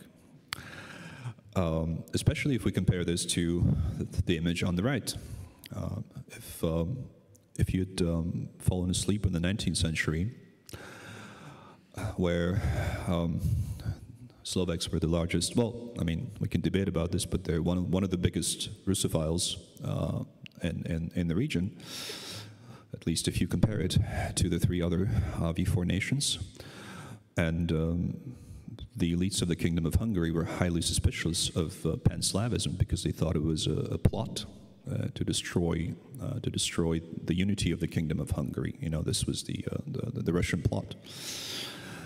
So if you fall asleep in the 19th century, when you wake up now, you will realize how interesting this looks. You have uh, a very Russia-friendly uh, Hungarian prime minister, um, and you have, as one uh, Hungarian political scientist told me, for the first time in history, you have a pro-Russian electorate in Hungary, which sympathizes with uh, with Russia, quote unquote. Um, so uh, I think that this is a very amusing and entertaining flip, right? Uh, which again goes back to the idea. This you know speaks back to the point of identities being malleable, uh, of not being reified, of not being deterministic or not being predetermined.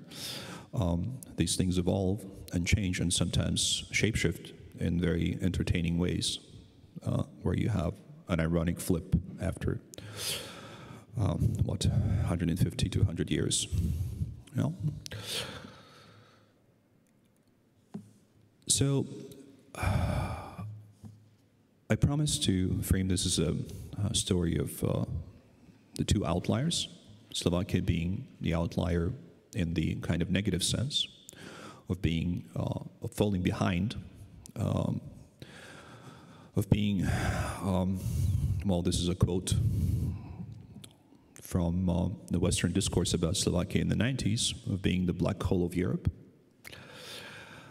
and um, suddenly graduating into something that you might call a success story, right? So you do have um, a record of Slovakia overcoming authoritarianism, um, the brief but traumatic period of authoritarianism under Vladimir Mečiar. Um, implementing successful economic reforms. Um, so the the you know the kind of amusing nickname of the Tatra tiger. Uh, I'm not sure if it's uh, well known outside of Slovakia, but uh, at least um, that is a, a kind of a marketing effort on the part of the Slovaks. Uh, you do have a country presently with a strong civil society, um, rather strong independent media. Um, you know, at least if you compare that to the Hungarian situation, um, you know, it's a different world. Um, but also, you know, some processes in, uh, say, the Czech Republic, so the the so-called Babišization of, of, of uh, major media um, Slovakia looks quite quite um, quite good in that respect, right? Um, you have a country that elected its first female president, who is also, if I'm not mistaken, the first female president in the V4. Um, so Zuzana Čaputová. Um, and also before her, um, Slovakia had a president who was regarded as the symbol of pro-democratic, liberal um, pro-liberal, pro-democratic, pro-Western figure. Um, and you do have a generally your optimistic outlook in the foreign policy Slovakia. So coalitions tend to be uh, pro, much more pro-EU than uh, anywhere else in the V4. Um, not to mention the euro, right? So Slovakia is the um, it's the only V4 uh, state to have introduced the euro. Now, of course, um, with the euro and with everything else, you can debate to what extent um, it is useful. I mean, and the freedom of debate is very important.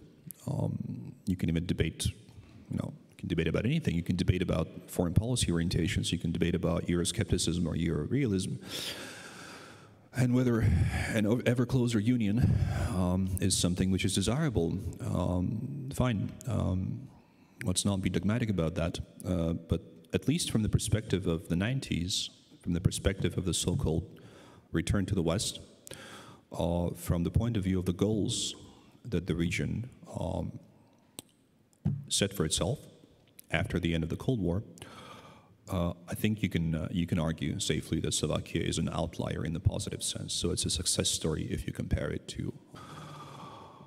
Well, we've experienced um, several uh, very interesting years following the 2015 uh, migration crisis, which was the critical point when the V4 came back. It was a very different grouping as a grouping that defined itself in juxtaposition to the West for the first time in history, because the point of the V4 was, you know, to make it simple, uh, to return to the West collectively. That was the idea of, of a Central Europe that was kidnapped, and now comes back to the European family. In 2015, uh, we had a very interesting moment when the V4 defined itself in opposition uh, to the West, or at least to certain uh, Western norms and policies.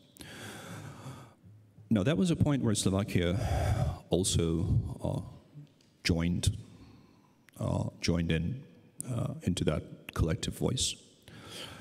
But um, soon enough, um, it preferred to distance itself from um, V4 states like Poland and Hungary, I mean, one of the most radical proposals um, not so long ago was, was by a Slovak uh, uh, MEP, member of the European Parliament, who said we should leave the V4 because it has a very bad name.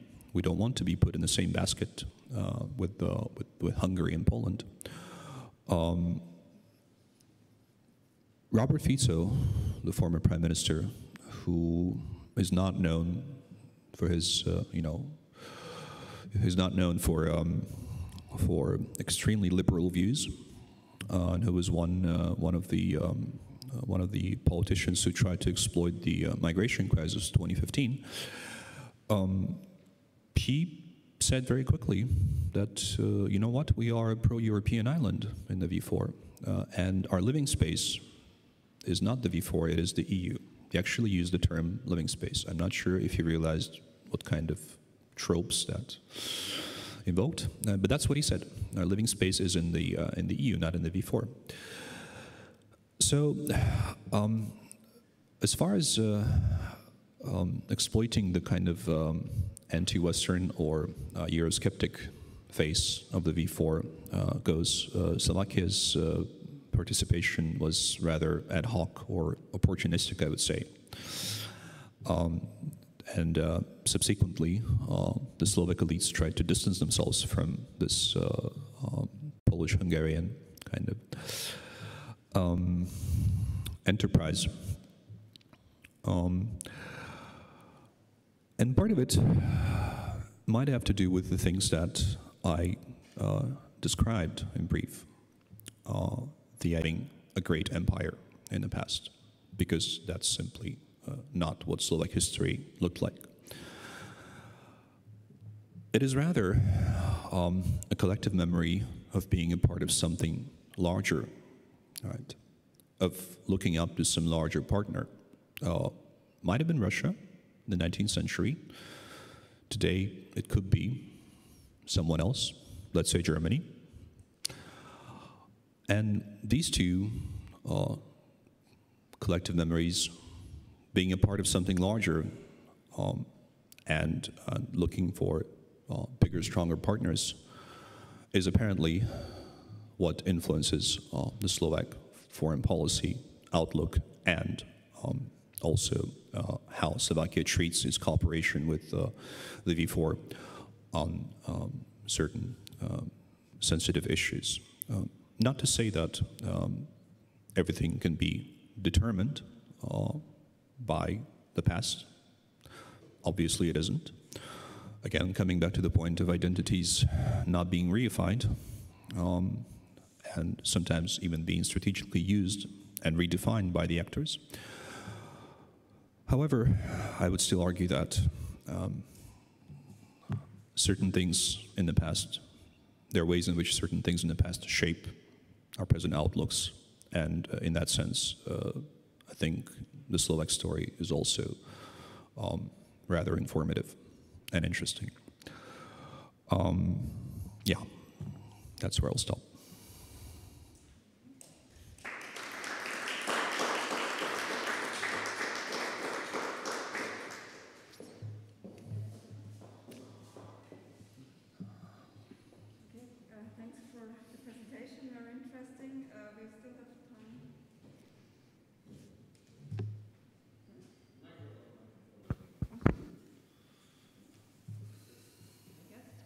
Is it working? Oh, no, no, no. Okay, thanks.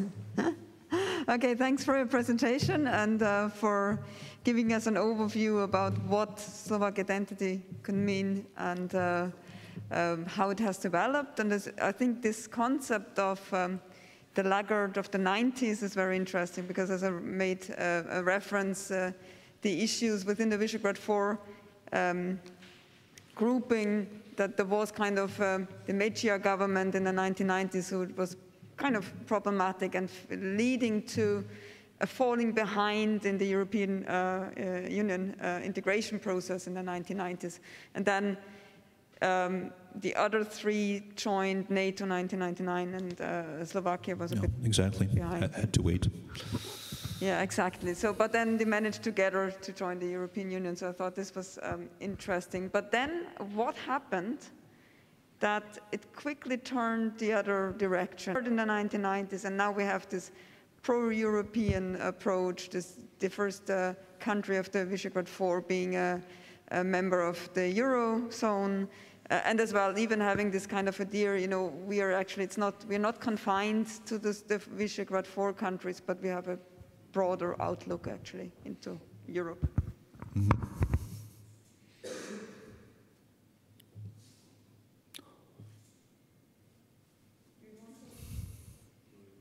Take- Should we collect uh, questions?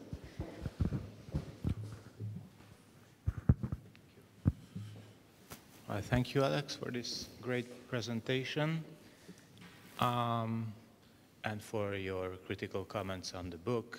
So just a precision concerning uh, imperial nostalgia. So the point in the introduction about that is that we should be careful with Central European nostalgia because it might dissimulate nostalgia for empire. So for nostalgia for a situation where, among others, Hungarians used to oppress others. So it's not only cultural, there, there is this imperial part of it. And indeed, you're perfectly right, there is another story in the region, and that's the Polish Empire, but I'm afraid that's not fully Central European, or it's not the territory of the V4. It's Poland looking eastward. But you are right to, uh, to to underline that this is also there in the V4 as another form of nostalgia. What I said was basically about this Middle European um, nostalgia for, for before 1920. Uh, a couple of questions uh, on what you said.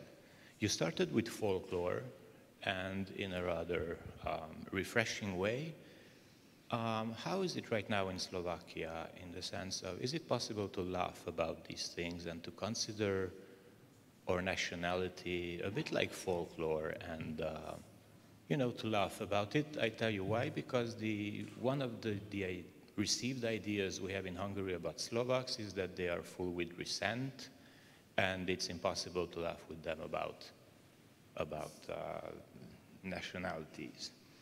An additional question is, are there any territorial claims in Slovakia, knowing, so is there, is there something called Greater Slovakia?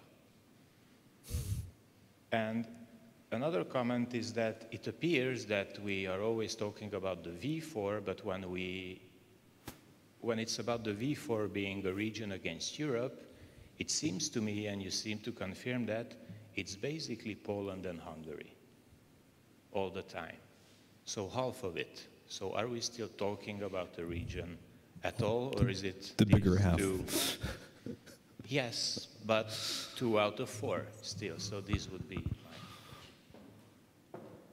Okay, thank you. Should I answer, or do we? I think, it, yeah. Um, I mean, uh, starting from the last question, which is the, the, the easiest one, um, uh, yes, I mean, but th- that was sort of part of my point that this participation in, uh, well, let's call it illiberal, uh, for lack of a better word, um, illiberal discourse you know, anti-migration and anti-Brussels sovereignist. That's something which, um, you know, for let's say the Polish government or the Hungarian government might be part of their ideological program, um, but for uh, people in Slovakia, that was something that was rather situational and opportunistic because elections were coming up, and as soon as uh, they were done with the elections, uh, they felt like they wanted to distance themselves from uh, from um, this liberalism uh, because it was doing more damage uh, than good, also to their personal agendas. You know, they didn't want to be put in the same basket uh, with uh, with Orban or or Kaczynski. Um, I think that uh, you're right. Um, and also, it's an interesting question to, to which extent we should speak of the V4 as a region, but I think that it is a form of regionalism, a region building project. Uh, and to be fair, yes, there are four countries, um, but um, look at the relative size of, of Poland together with Hungary. Um, I think if we speak about the V4, uh, represents more than a half of that region. But if you if you count it by by states, then um, obviously uh, you are perfectly perfectly right. And uh, this doesn't um, this doesn't add up to to a region, um, to a V4 region. Mm. You know what else? What else to say on this? on the question of whether it is possible to laugh about, about Slovakian uh, national identity, well, it's always trickier when you are not Slovak. So I, I, have to be careful, even even though you know I'm a researcher and I, I do critical analysis, but it's it's not uh, you know it's not so easy because this isn't this is irony, but it's not self-irony. I can be ironic about Belarus. I mean, no, no one can stop me there. Um, but in, in, in principle, I did not uh, notice, mm, you know, any serious obstacle to uh, to making jokes about uh, about Slovakia because um, I don't think there are any sore issues uh, to the extent to which uh, they are in, in, in some other places, like, like this one. Um, Greater Slovakia, well, see, this is the thing. Um, there is no collective memory of a territory. I mean, there's a Great Moravia, but we have very vague ideas about what it was and, and you know where the borders ran, and, and it's it's it's a complete you know kind of uh, com completely virtual um, imaginary construct. And uh, as you very well know, um, the post-World War, uh, the, the, the, the post-World War um, arrangement uh, of the borders was rather in favor. Used to be part of the Slovak elections I remember that when I came to uh, to Slovakia, you could see these um, uh, these posters trying to scare people with the Hungarian irredentism. So it would say Pozsony no Bratislava, you know, the, um, watch out because they're, they're coming. But um, interestingly enough, that completely or almost completely disappeared from the agenda. Um, so the Hungarian issue is a non-issue at the moment, Slovak politics, which to some extent shows you how, you know, artificial and constructed those things can be. They can just disappear. You know, you switch the discourse off and on. Um, part of that might have had to do with the um, migration crisis, because uh, the migrants, the so-called imaginary migrant, to, to quote one of my colleagues, is a much more convenient enemy.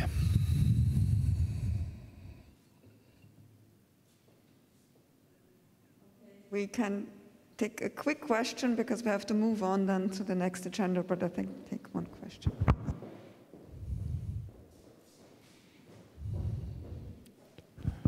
My name is Dr. Stadl Sabine from Vienna, Austria. I'm a colleague. I speak rather well Slovak, and I remember Slovak history during 1960s and 1980s as Czechoslovak history.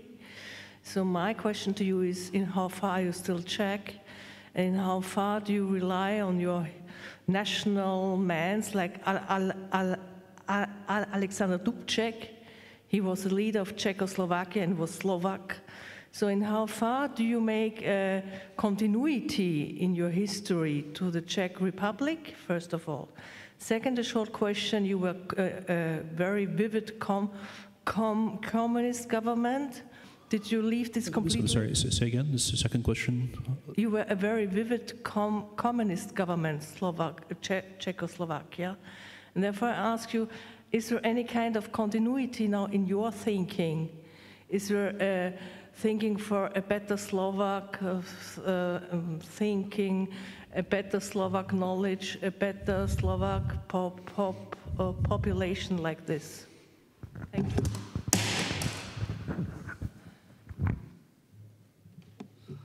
Sorry. Um, I, am afraid I didn't catch the second question, but maybe somebody could uh, rephrase it for me. It was about communist uh, legacies in Slovak, Slovakia and Czech um, hmm.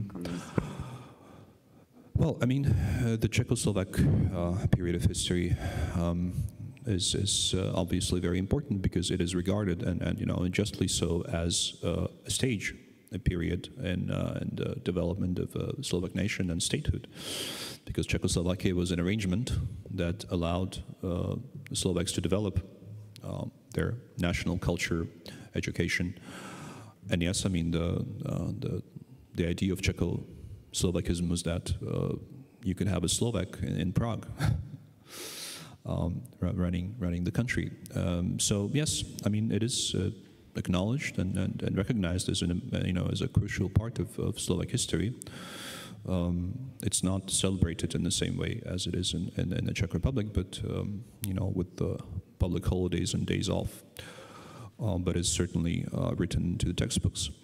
And the communist legacy, I'm not not so sure about. Maybe we can discuss this over the coffee break because I didn't really catch the the idea.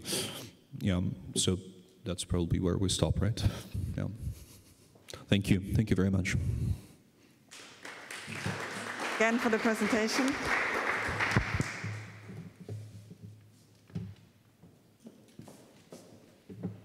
Okay, thanks again for the presentation. Thanks for all the questions. Sorry, I would just rather prefer to move on.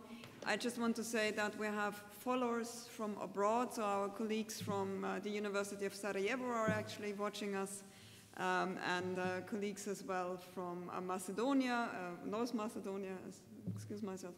Um, and we receive questions as well on the YouTube channel which we will see if we can uh, um, answer them now or later in the afternoon because we have the afternoon session which is a, going to be an online discussion uh, with the colleagues as well who were involved in the book. But now, but not least, uh, we are very delighted uh, that um, uh, Dr. Uh, Pogátsa is with us today. He um, is going to discuss the issues discussed now and the issues raised in the book. And uh, uh, Dr. Pogátsa is, um, works at the University of Western, West Hungary, Sopron, um, and is conducting, you know, an economist, political scientist, and I found out even uh, you have um, done a master's in Southeast European studies, so an expert on a lot of fields, so we're delighted to get feedback. Thanks very much. Thank you very much um, for the word. I would like to start by congratulating those people who have contributed to this book, especially the two editors, Christina and Adam Bence. It's a, a, wonderful book. Thank you very much for the opportunity of having read it, and all of those people who have written chapters in the book. I'd like to congratulate them and thank you uh, for your work. And also, I'd like to thank you for the opportunity to speak about this book uh, today.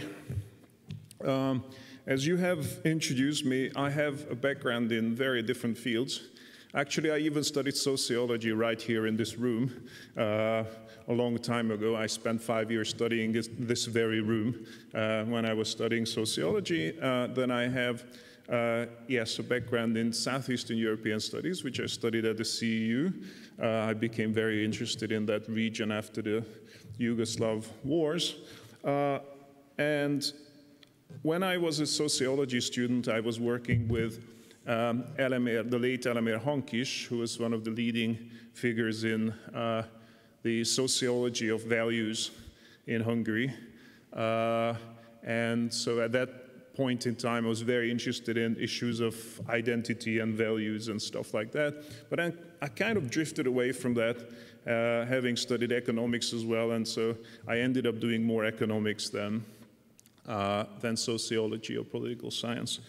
Uh, now, the reason why it was a great pleasure for me to read this book is that it kind of brought me back uh, to the period around transition and after transition uh, when this region had to find its identity. So, as it is often mentioned in the book itself, the um, Soviet period was a kind of Yugoslav period in the case of the Western Balkans, was a kind of a suppression of identities. Uh, all kinds of issues were gathering up, not only issues related to the communist period itself, but issues related to the Holocaust, issues related to the 1930s, issues related to the time of the Austro-Hungarian Ottoman empires, and going back very, very far, actually, probably even to Svatopluk. Um, so all these issues were never really discussed in a democratic manner. Most of these countries never really had a, uh, a democratic history. I would say that the only exception was probably Czechoslovakia, which, in, to, in my opinion, was uh, a democracy in any meaningful way in the interwar period. Uh, even that country had its problems, obviously, but that came closer, closest to being a, a, a democracy in the Western sense. But it, almost every other country was very, very limited in terms of its democracy, so it never had a chance to discuss issues of identity in a democratic form. And when uh, transition happened in 1989, we suddenly had a chance to discuss not only the communist past, but also all kinds of issues from uh, a, a, very long period of time stretching back centuries, effectively. And all these ideas suddenly emerged. There was an overflow, in a sense, of uh, all kinds of ideas, some of them better, some of them terrible. Um, but it was very difficult to differentiate between the good ideas and the bad ideas because there was such an oversupply of people with their ideas trying to uh, somehow narrate the world around them and, and find an identity in a free society. Uh, and I remember, obviously, nationalism was one of those issues that came back. So, national entities, some of these states were establishing themselves as new entities. Slovakia at the time was known for its Mečiarist nationalist uh, stance, as you have just pointed out. Huge change, as you have also pointed out. Uh, Serbia with Milosevic. Uh, so some, in some countries, obviously, especially the ones which were finding their, uh, Tudjman, Croatia, which were finding their uh, national identities and separating from larger entities, this was stronger. Ironically, Hungary was probably at the time one of the least nationalist countries, uh, not having to establish a, a, a separate an entity uh, at all. So nationalism was obviously one of those. And then the idea of Central Europe was another one. It was very much in the air. All this talk about Visegrad and the uh, semi-periphery of Europe and uh, all these ideas. And the third one was Europe. Obviously, immediately there was this idea of the integration of to Europe. And all these three are very much dealt with in the book. So I really like the the fact that you operate on these three levels national, Central European, and, and European. And I also really like about the book that you are very critical of all three. So you don't accept at face value any of those three levels. You actually try to deconstruct uh, a lot of that. And now, um, theoretically, there should not be necessarily a contradiction between the three. One can be Slovak and Central European and European at the time, uh, at the same time. Uh, looking at it from the perspective of uh, a Chinese or an American, why would there be a contradiction between being all three at the same time? Yet, uh, we all know that in the 1990s, these were posed as contradictions. And this appears very well in the book that these are contradictions because they became narratives, because they became con- they're constructs. And I very much like the fact that you all treat them as constructs. Now, them being constructs is obvious in some cases, but not in other cases. So if you're a nationalist, uh, for you it's obvious that there is such a thing as a nation and the whole idea of nationalism. It's not obvious why you should deconstruct it. If you are a liberal, in, 19, in the 1990s, the concept of Central Europe was very much a liberal concept. I remember, and it's written, it's actually mentioned in the book. It was promoted by people like Kundera or, or Konrad or Czeslaw Milosz or people like that, Havel. Uh, it was definitely a liberal concept, juxtaposed to nationalism. Let's surpass our nationalisms and let's have a larger entity. Uh, the idea of Europe was kind of a compromise. It wasn't really tied to either the nationalist or the liberal side. Um, but after a while, I think it became more of a liberal idea. So nationalists often juxtaposed themselves to Europe. Milosevic did that. Uh, uh, uh, definitely Mečiar did that. Orban does it today. Um, it's always vis-a-vis Europe that you define your nationalism. So it, in that sense, it by default shifted into the kind of liberal corner. And we tend to use this for a long time, we've used this, these expressions like Europeanization or European values, um, which, if you're a liberal, you don't see why that should be deconstructed. So if you're a nationalist, you don't see why you should deconstruct the nation. If you're a liberal, you don't see why you should deconstruct the idea of European values. And yet, in this book, I find the deconstruction of both which I really like because I find it very balanced that you do this. For, for, for nationalists to see why you're actually creating a construct and how you're creating a construct. And this is what I enjoyed very much reading, country by country, how this construct of nationalism is created. And if you're, we tend to be stuck in our national discourses. Being a Hungarian, I'm more familiar with the Hungarian construction of nationalism. Obviously, I try to follow a little bit the other countries, but this kind of expert level discussion is extremely informative. Um, I mean, I do spend a lot of time in Croatia, but to have read uh, and not, not really like the Slovaks or the Poles or the Hungarians, but then you, with the migration crisis, and then the very term migration crisis is deconstructed. So, is it a migration crisis or a refugee issue? Is it a crisis at all? Even there is this deconstruction, which I really like. Um, then Czech identity suddenly sort of merges into the Visegrad one. And there's no difference anymore. Nobody really seriously believes that the Czechs are superior in any way to, uh, to the region. So, you know, if there was once a Slovak ruling in Prague. There is once again a Slovak ruling in Prague.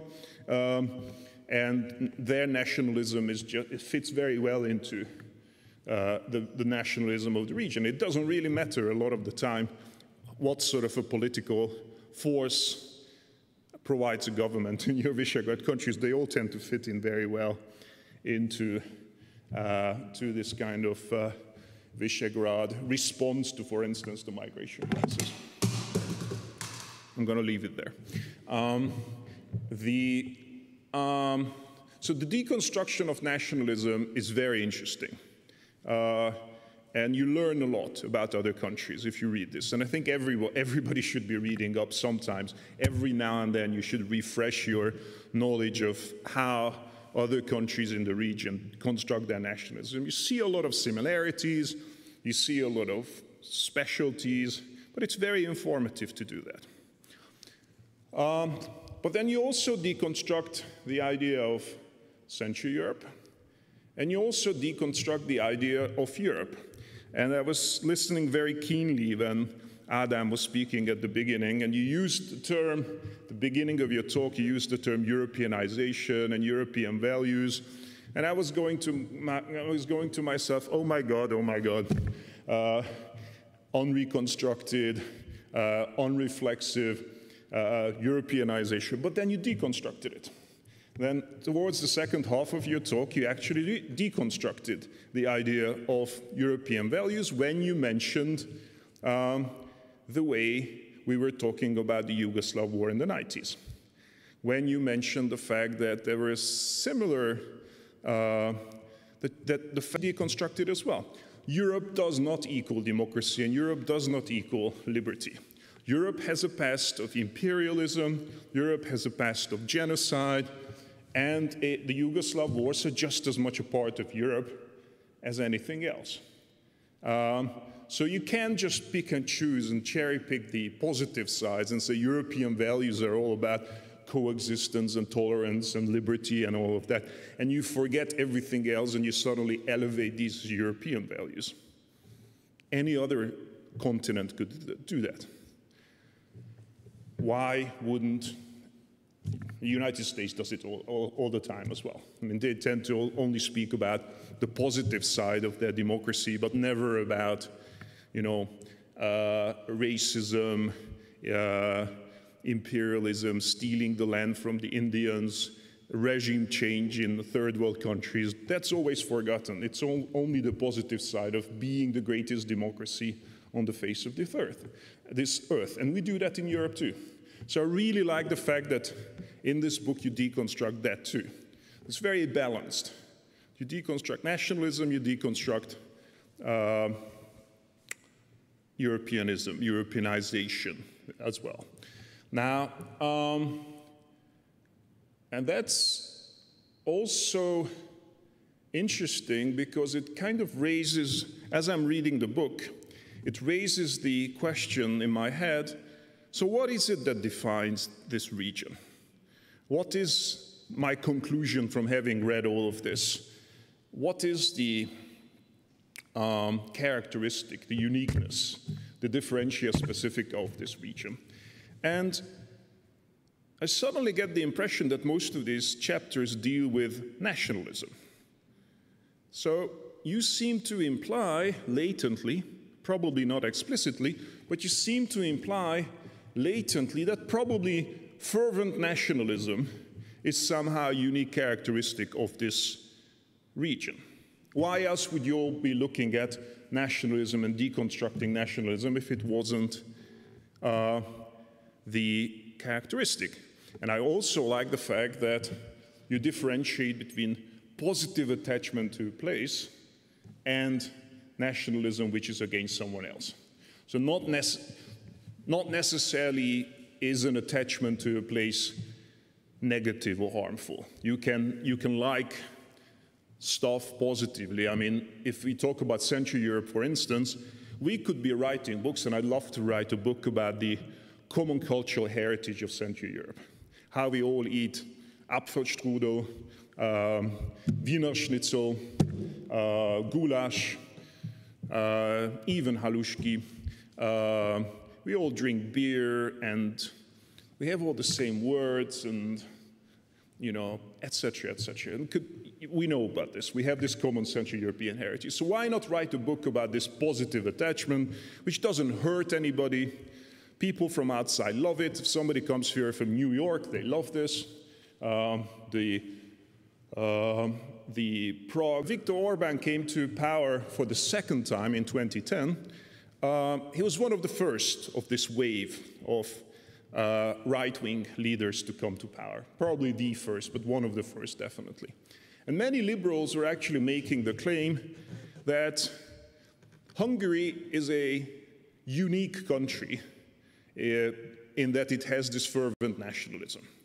I definitely remember Agnes Heller, the late Agnes Heller, making that claim all of the time that somehow Hungary is this Galapagos island where the right remained nationalistic. And everywhere else in Europe, the political right is civilized, uh, centrist, moderate, like Angela Merkel, the icon.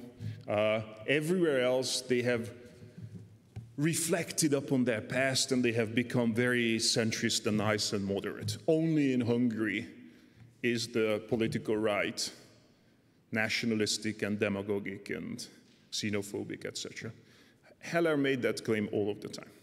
Now, I think with the benefit of hindsight, having experienced a wave of people, not only in Europe, but across the world, that claim is definitely wrong.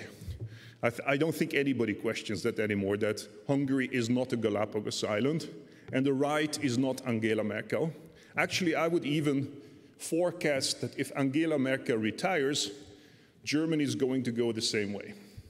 There are very powerful forces in Germany pushing that country towards that. Probably not as fervently as in the rest of the region, but definitely there's a shift. There's a gradual shift to the right, even in Germany. But if you look at the likes of Kaczynski, Salvini, Vucic, uh, Gruevski, uh, Erdogan, Le Pen, Geert Wilders, Farage, uh, the Swedish Democrats, the True Finns, Donald Trump, Benjamin Netanyahu, Modi, Shinzo Abe. Shall I go on? I mean, do we still seriously believe that somehow Viktor Orban is an island to himself and he's the Galapagos of the right? I don't think so. There is definitely a wave. This is far beyond Central Europe. This is far beyond Central and Eastern Europe. It doesn't, nationalism doesn't characterize the Visegrad countries, and it doesn't characterize the West Balkans as a kind of differentia specifica. Obviously, it's there, obviously, it's strongly there, but it's not, it doesn't differentiate this region from other parts of the world. Um, so it helps sometimes, I think, to move a little bit above the region to be looking at the region. I, the, the, time when I felt most European was when I was in Shanghai or in New York. The, those places I feel really European. In Europe, we see the differences. You go further away, you realize how, you know, how Europe is different and how it is not different. That sort of perspective, I think, helps. Now, I read these chapters and I really like the treatment at the national level. I'm getting a lot of information about how nationalism is constructed at the national level. But I'm also thinking um, do these constructions of nationalism really characterize an entire society? And my problem with a lot of the chapters was that they treated societies and cultures as if they were homogeneous. Um, and I don't think that's where the research of values is today. I mean, in the 1990s, we were all showing each other these wonderful maps of Inglehart and Welzel, the World Values Survey, uh, and we're looking at you know, where countries are on this map. But value sociology stepped beyond that. We don't presuppose national cultures anymore. Because if we did presuppose national cultures, all we would be doing is we would be strengthening the nationalist idea of a, a, homogeneous national culture with the best intentions, if you're a liberal, and you start showing on the map where Hungary is as a point, a dot, all you're doing is you're reinforcing the nationalist conception that there is a homogeneous Hungarian culture. But there isn't. What value sociology does today is it looks at clusters of values, subnational clusters of values. And in Hungary today, we have many subnational clusters of values. Somebody who's a voter of the formerly far right Jobbik has this kind of 19th century value cluster of, of fervent nationalism. Somebody who's a voter of the Socialist Party today has a 20th, 20th century value cluster of modernity and modernization and speaks the discourse of modernization. Somebody who's a voter of the Green parties in Hungary, and we have two Green parties, has a postmodern value cluster, is part of the postmodern value cluster, which is postmodernizationist, doesn't want to modernize anymore, actually wants more bicycles than cars in the street. Now, these, and there are many other clusters as well, but these three groups of people are not part of a homogeneous culture. You cannot presuppose that Hungary has. So, therefore, to speak of Hungary as being nationalistic or uh, paternalistic or um, family oriented, etc., etc., I think is a treatment which would deserve more in the sense of break, going below the level of the national. And there's a conflict there. It's a conflict of different cultures. Now, if you treat Hungary as a unit, you get the impression that Viktor Orban is popular. But we have 8 million voters in this country, and 2.3, 2.5 vote for Viktor Orban and his cluster, his cultural cluster. Now, I don't think that's outstanding. I think it's a good result. He's a very charismatic politician, he's a very hardworking politician.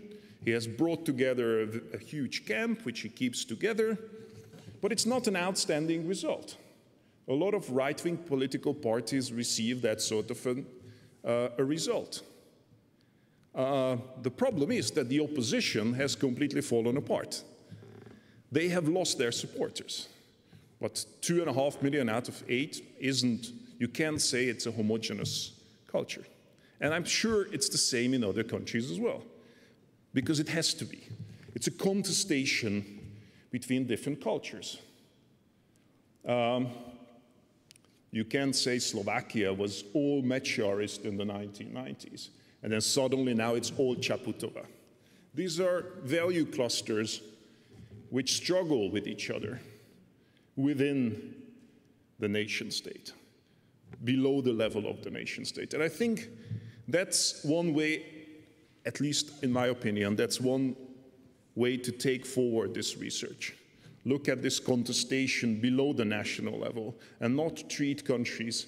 Because if you do treat countries as homogenous, in my, in my view, all you're doing is you're reinforcing the claim by nationalist leaders that there is such a thing as a homogeneous culture, which, which doesn't help in the deconstruction of nationalism. So showing these maps of Inglehart and Welzel from 30 years ago will not help.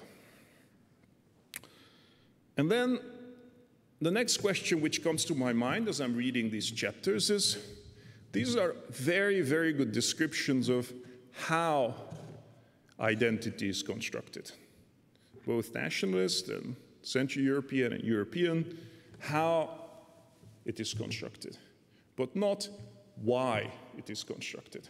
I keep asking myself, why is it constructed? Uh,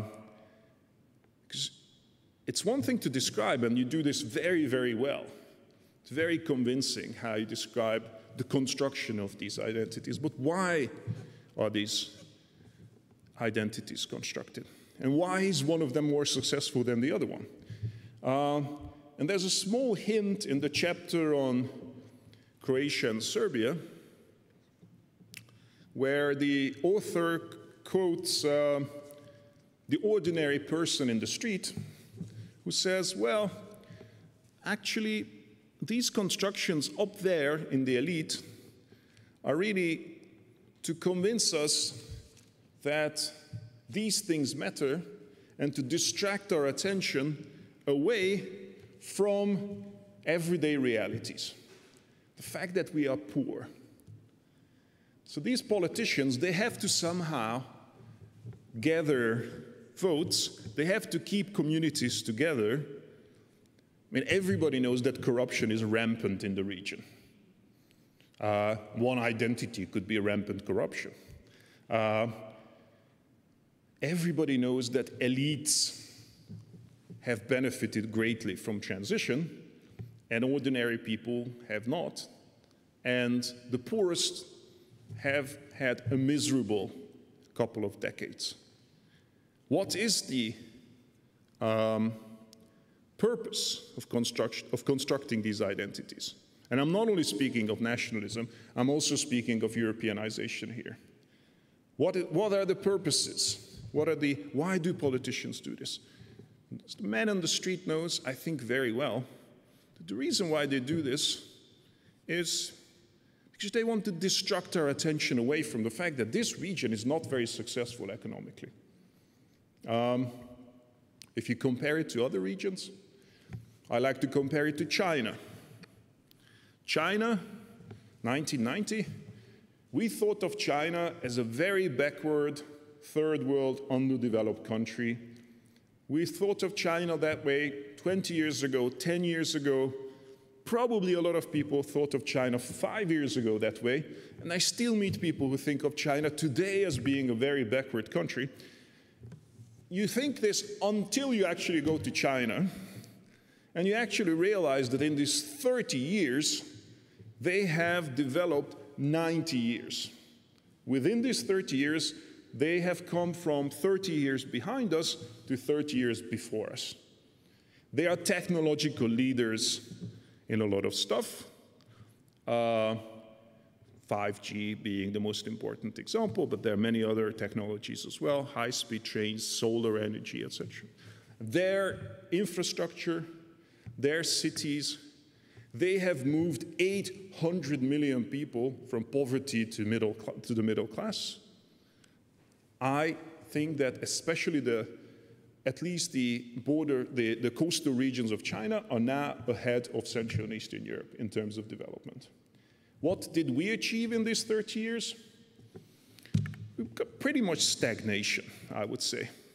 Our relative position to the European, the west of Europe, pretty much Austria, which is the eternal example for everybody here, is pretty much the same. And there's no huge exception here. I mean, liberals like to point at Estonia or sometimes Slovakia. There's always a kind of employee of the month uh, you know, but these are not convincing. The figures are not convincing. Nobody really left this region and became Western Europe. Nobody, Western European, nobody really believes that any of these countries have made that jump across the Iron Curtain. Uh, that Iron Curtain is still there in terms of poverty. The majority of people don't have a chance to be European because to be European, you need to travel, you need to go to these places, and you need to experience them. We can be European because, as middle class people, we have been to these places, we have stayed in those hotels, we've been to those conferences, those museums, we have acquaintances from those places. You have Facebook friends from Belgium or Greece. The average person in this region does not. They don't, they don't even have a friend from the neighboring country. The average Hungarian doesn't even have a friend from Slovakia. There's no way you will be Central European. There's no way you will be European. These identities will not be your identities. You're too poor for that. So the liberal story of Europe doesn't sell. Uh, because you, you, you, don't experience it. The majority of people don't experience it. What does sell is the nationalist story. Because if you're poor, you cannot construct a story of economic success. That would be an alternative. I have become middle class. The Chinese have that. 800 million Chinese people have. China has its own problems. I'm not trying to paint China as a miracle. Obviously, it has its political problems, it has its environmental problems, etc. But 800 million people in China have that story of my family became middle class. This is who we are. We've become rich. Very, very few people in this region have that. This is reflected in births. People are not giving birth. This is reflected in outward migration. A lot of people have moved to the west of Europe because they don't believe that they have a future in this region. Depopulation. If you look at the, globally, if you look at uh, this region, it's the fastest depopulating region of the world. It's not an accident. Bulgaria is the number one country, but almost all of these countries in the region, the Baltic states have, one third of the Baltic states have emptied out. Um, it's not an accident. People don't believe in the future, their future here. And when you have Polish women going to the UK, and suddenly the number of children uh, born to Polish women in the UK is higher than to Muslim women in the UK, whereas it's very, very low in Poland, then you know that there is not a belief in this region locally. You only believe in your future if you go to the west of Europe. So this is not, a, not, a, not an economically successful region. If you're not successful economically, there are huge disparities. Obviously, nationalism sells because you have to have some sense of identity. You have to justify to yourself and to others who you are in this world. And if you cannot claim to be successful economically, you will regress to um, identities that are very simple to achieve. It doesn't take much to be a Turk if you're born a Turk. It doesn't take much to be a man if you're born a man. Yeah? It doesn't take much to be non gypsy if you're not a gypsy. So these identities are very easy to achieve, much easier than economic success, so they sell easily. There's actually no competitor. There's almost no competitor. Being European is not a competitor. Being Central European is not really a competitor, it's a competitor for us. It is for me, because I can go to Vienna and have a Wiener Schnitzel, but the cost of a Wiener Schnitzel in the most expensive restaurants in Vienna is roughly the same as the monthly salary of a public worker in Hungary. They will never go to have a Wiener Schnitzel in and ride a fiacre or something like that. They'll never have that. They'll never go to a pub in Prague or visit the Jewish quarter of uh, Krakow or something like that. They'll never have that experience. Um, so I think that's another way to take this forward, to ask the question, I think you have dealt very well with the question of how identity is constructed.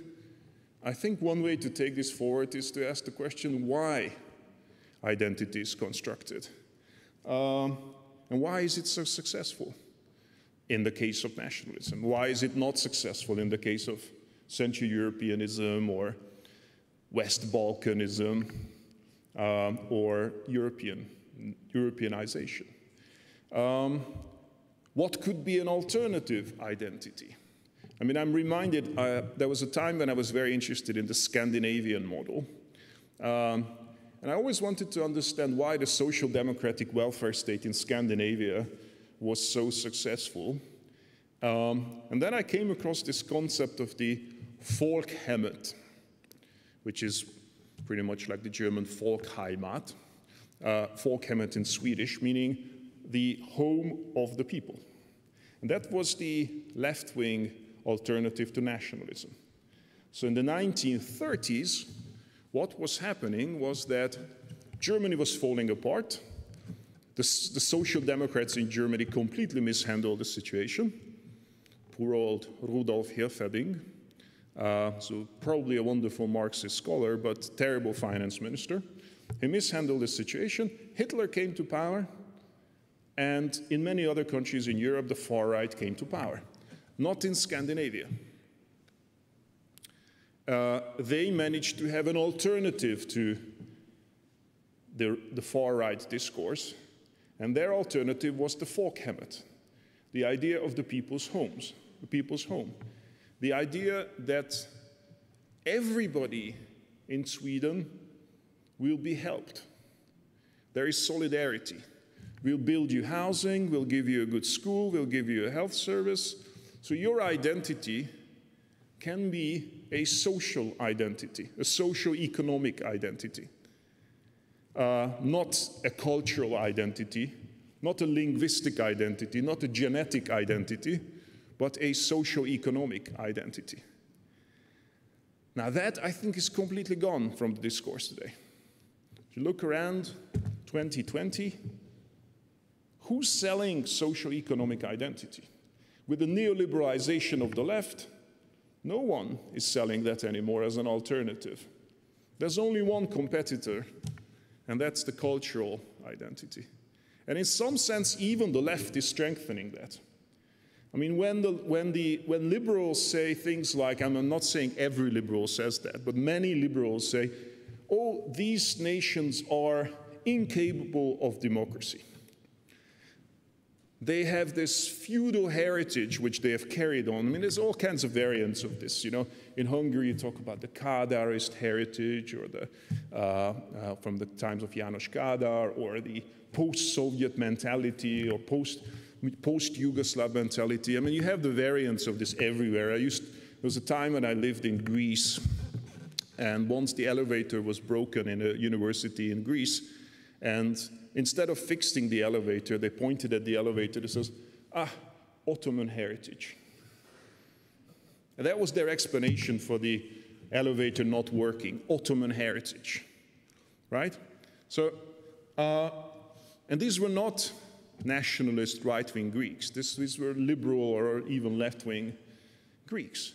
This sort of culturalist homogenization that you try to explain stuff through culturalism, in my view, reinforces the ethnicist narrative on the right. Because you're, you're reinforcing the idea that culture is the primary explanation rather than social, the socio-economic underpinnings, which to me gives, um, which to me legitimizes to a large degree the more competitive discourse on the right. And I'm not saying culture isn't important. Obviously, culture is very important. And it's obviously very, very important to deconstruct cultural identities. And you do this very, very well. Um, but I'm asking as I'm reading this book is this going to change is this going to affect change? Because some people will not even listen to it. Other people will say, well, yes, this is interesting. This is really well done. This is how it is. You have this feeling of, you have deconstructed it for me, and you have, tell, you, you have told me how it is constructed. And you have this feeling of excitement that you see this construction in motion and how it's being done. Uh, but then we go back to the same thing. Why do we go back to the same thing? Because there is no alternative. So the man in the street that is referred to, the Yugoslav, the ex-Yugoslav man in the street who knows that this, these identities are being sold to cover up the lack of economic success are probably not different from the people who were tomorrow go to a nationalist rally they might know. I have spoken to many, many nationalists or supporters of nationalists who know very well that this is a construction being sold from above.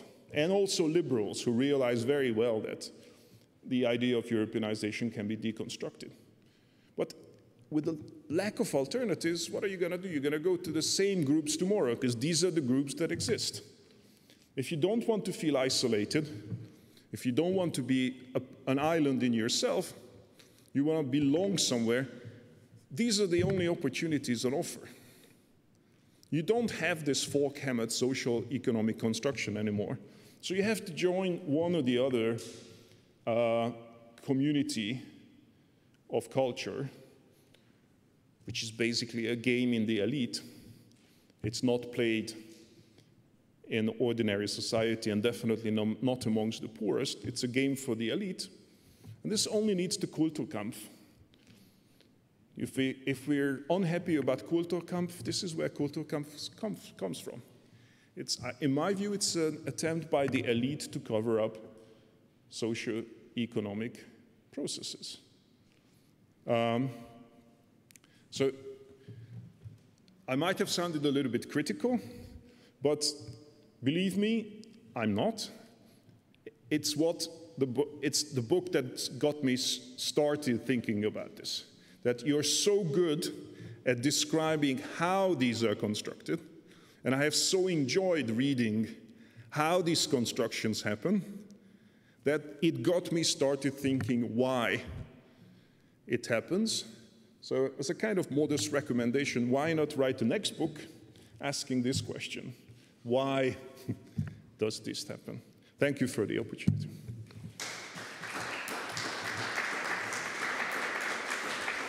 Thanks very much for your um, comments and, uh, you know, you started very well with uh, the positives, and of course, you know, we are very happy to get criticism as well and to get, you know, new ideas about what to improve.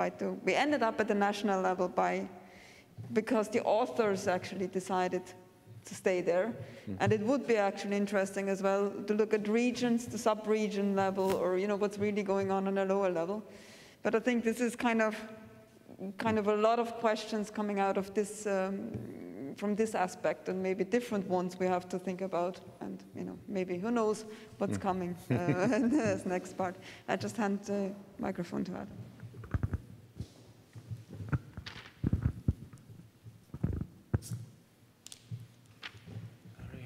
Let me take a step back. I don't want to kill you either.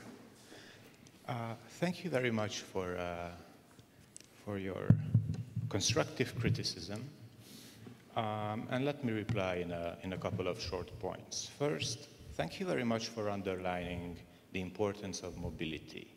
So I think it completes the answer to a question asked previously. Uh, is there an opposition between national, regional, and continental uh, sense of belonging? Uh, Mobility, European mobility, is not only about moving within the European space, it's also about going outside of Europe. And indeed, if you go somewhere else, you realize that all these things are microscopic, seen from Shanghai or New York. The other important thing to, um, to say about mobility is that it remains a privilege. So it's the main, one of the main questions about European identity is that most Europeans are not Europeans actually in the normative sense that we like to praise this um, continental identity. And at the same time, it's a key issue to improve mobility, even for local issues. So even on the local level, mobility does improve democracy because if you go abroad, you cannot be told anything, any rubbish about who, what kind of people live in the neighboring countries or elsewhere. So mobility is really key nowadays in Europe, knowing what Europe is nowadays in the world. So mobility. Second point on Hungary being more nationalistic than other countries. Here, I think that indeed this is something quite provincial to say that we, even in our, uh, in, an, in our negative characters, we are special. There is something vicious in that, but I think that we can agree that Hungarians are not exactly the most humble tribe on earth. So the most humble, humble tribe nation on earth. So even when it's about bad news about Hungary in the international press, there is some vicious way of still liking it. It's still about us. It makes us special, even if it's horrific what's written about us. So there is something, but you are right. Uh, there is something provincial to this, and the region level shouldn't be a provincial one. Um, it's about enlarging these things and to think that we are really special without knowing anything about the outside world, that's basically, once again, due to a lack of perspective, not only on the region, but on the so-called rest of the world. Uh, third point about homogeneity between the lines of what you said. Indeed, one problem with um, using the expression V4 when it's uh, about uh, the negative part. So it's not only that it's not always the four countries together, It's also that can we regionalize political opinions? There are so many things lost. So when we say that the V4 is a region against Europe, which is a question, there are many political opinions, many political standpoints, many values, many ideas, many different kinds of people lost in it. And you are right, it's also true for the national level. So there are things to dig further. It's much more complex, and we hear whether on the national or the regional level, we fall back into the myth of homogeneity, right? And then, why are nations constructed? That's an excellent question, and one, why are some constructions more successful than others? I think that economic failures don't explain everything. So dissimulating economic failures or compensating economic shortcomings is not enough to explain why it's nationalism that seems to be um, winning and not other uh, types of identities like the socio-economic ones that you mentioned. Why nations? Another reason is that nationalism was during communist times, so to speak, in incubation in the region. And now it's back. It wasn't gone, it wasn't fully smothered, in some sort of incubation. And now we end up in a with a delayed form of nationalism because while we were in incubation, at least on the nationalist level, many other people joined um, the concert of nations in the world through the process of decolonization. And so we are a bit delayed with that because many other things happened in terms of nation building in the world and outside, in the sense of outside of Europe. So still, why is the national construction so successful? Because a nation is a great novel. It's a great story. And by the way, great novels, you know, those thick mandatory readings in high school from the 19th century are all closely related to um, nation building. It, these are great stories. And also, coming back to, to the global scene, they make sense. They are not necessarily true. There are many exaggerations. They are closer to novels than to reality sometimes. So that's why I use uh, the expression great novel. But they make sense. I'm not sure that on the global scene everything really makes sense. It's complex for sure. It doesn't necessarily make sense. And this would be a thing to think through, by the way, to uh, challenge the, the abuse of the nationalist narrative is that um, are or demagogues simplifying something that's complex but makes sense? Or is it not simplification? Is it just giving sense and meaning to something that doesn't necessarily have one? So I would say is, these are the comments I would add to, to what you said. And just to finish, you make a generous use of the expression deconstruction. You use it quite a few times. Let me use another one just to relate what you said to the topic. It's about even when it comes to our greatest values, those that we cherish. So when it's about freedom, when it's about democracy, when it's about Europe, the idea is never to identify with these great things. The idea is to keep like a critical distance, a constructive distance, and this is something perhaps that didn't happen in the 90s and the early 2000s. So this Europeanizing process, I think we identified with Europe far too quickly and easily, and there was no constructive criticism, especially not on the left side, which might explain why the region or parts of it have fallen back into such Eurosceptic uh, uh, positions. So the idea is never to identify. Don't identify with things. Keep some critical distance. Read your nationality and the history of your nation like a great novel. When you read a novel, you do as if it was true, otherwise you can't read it. But then, sooner or later, you close the book and, well, you know that there is truth in it, but basically it's fiction. So keep this critical distance. You call it deconstruction. Let me call it avoid identifying even with the best things around. Because that's the way to improve them. Thank you. Mm. According to the time schedule, we actually have to close, exactly, we have to close the first session. Um, so thanks again for your time and for the, the comments, and I think we going to put our heads together and think about what's next. And it's always good to have this exchange because you need the feedback because sometimes there's so much in the topic and in the subject that you just lose the view of things you might miss out and, um, and even the different levels and um, intensity with what you work on. So that was um, very welcome. Thanks very much. Just for your information, we have to close that session now for this uh, morning. That was the live part of the event. I uh, would, in, sorry, excuse me. I would invite you to join us in the afternoon online. I was told there is, might be a bit of a problem with the link because there are two links on the program, and I think for the afternoon session you should use the first one, the one which uh, is, uh, was actually made up for done uh, for the live event.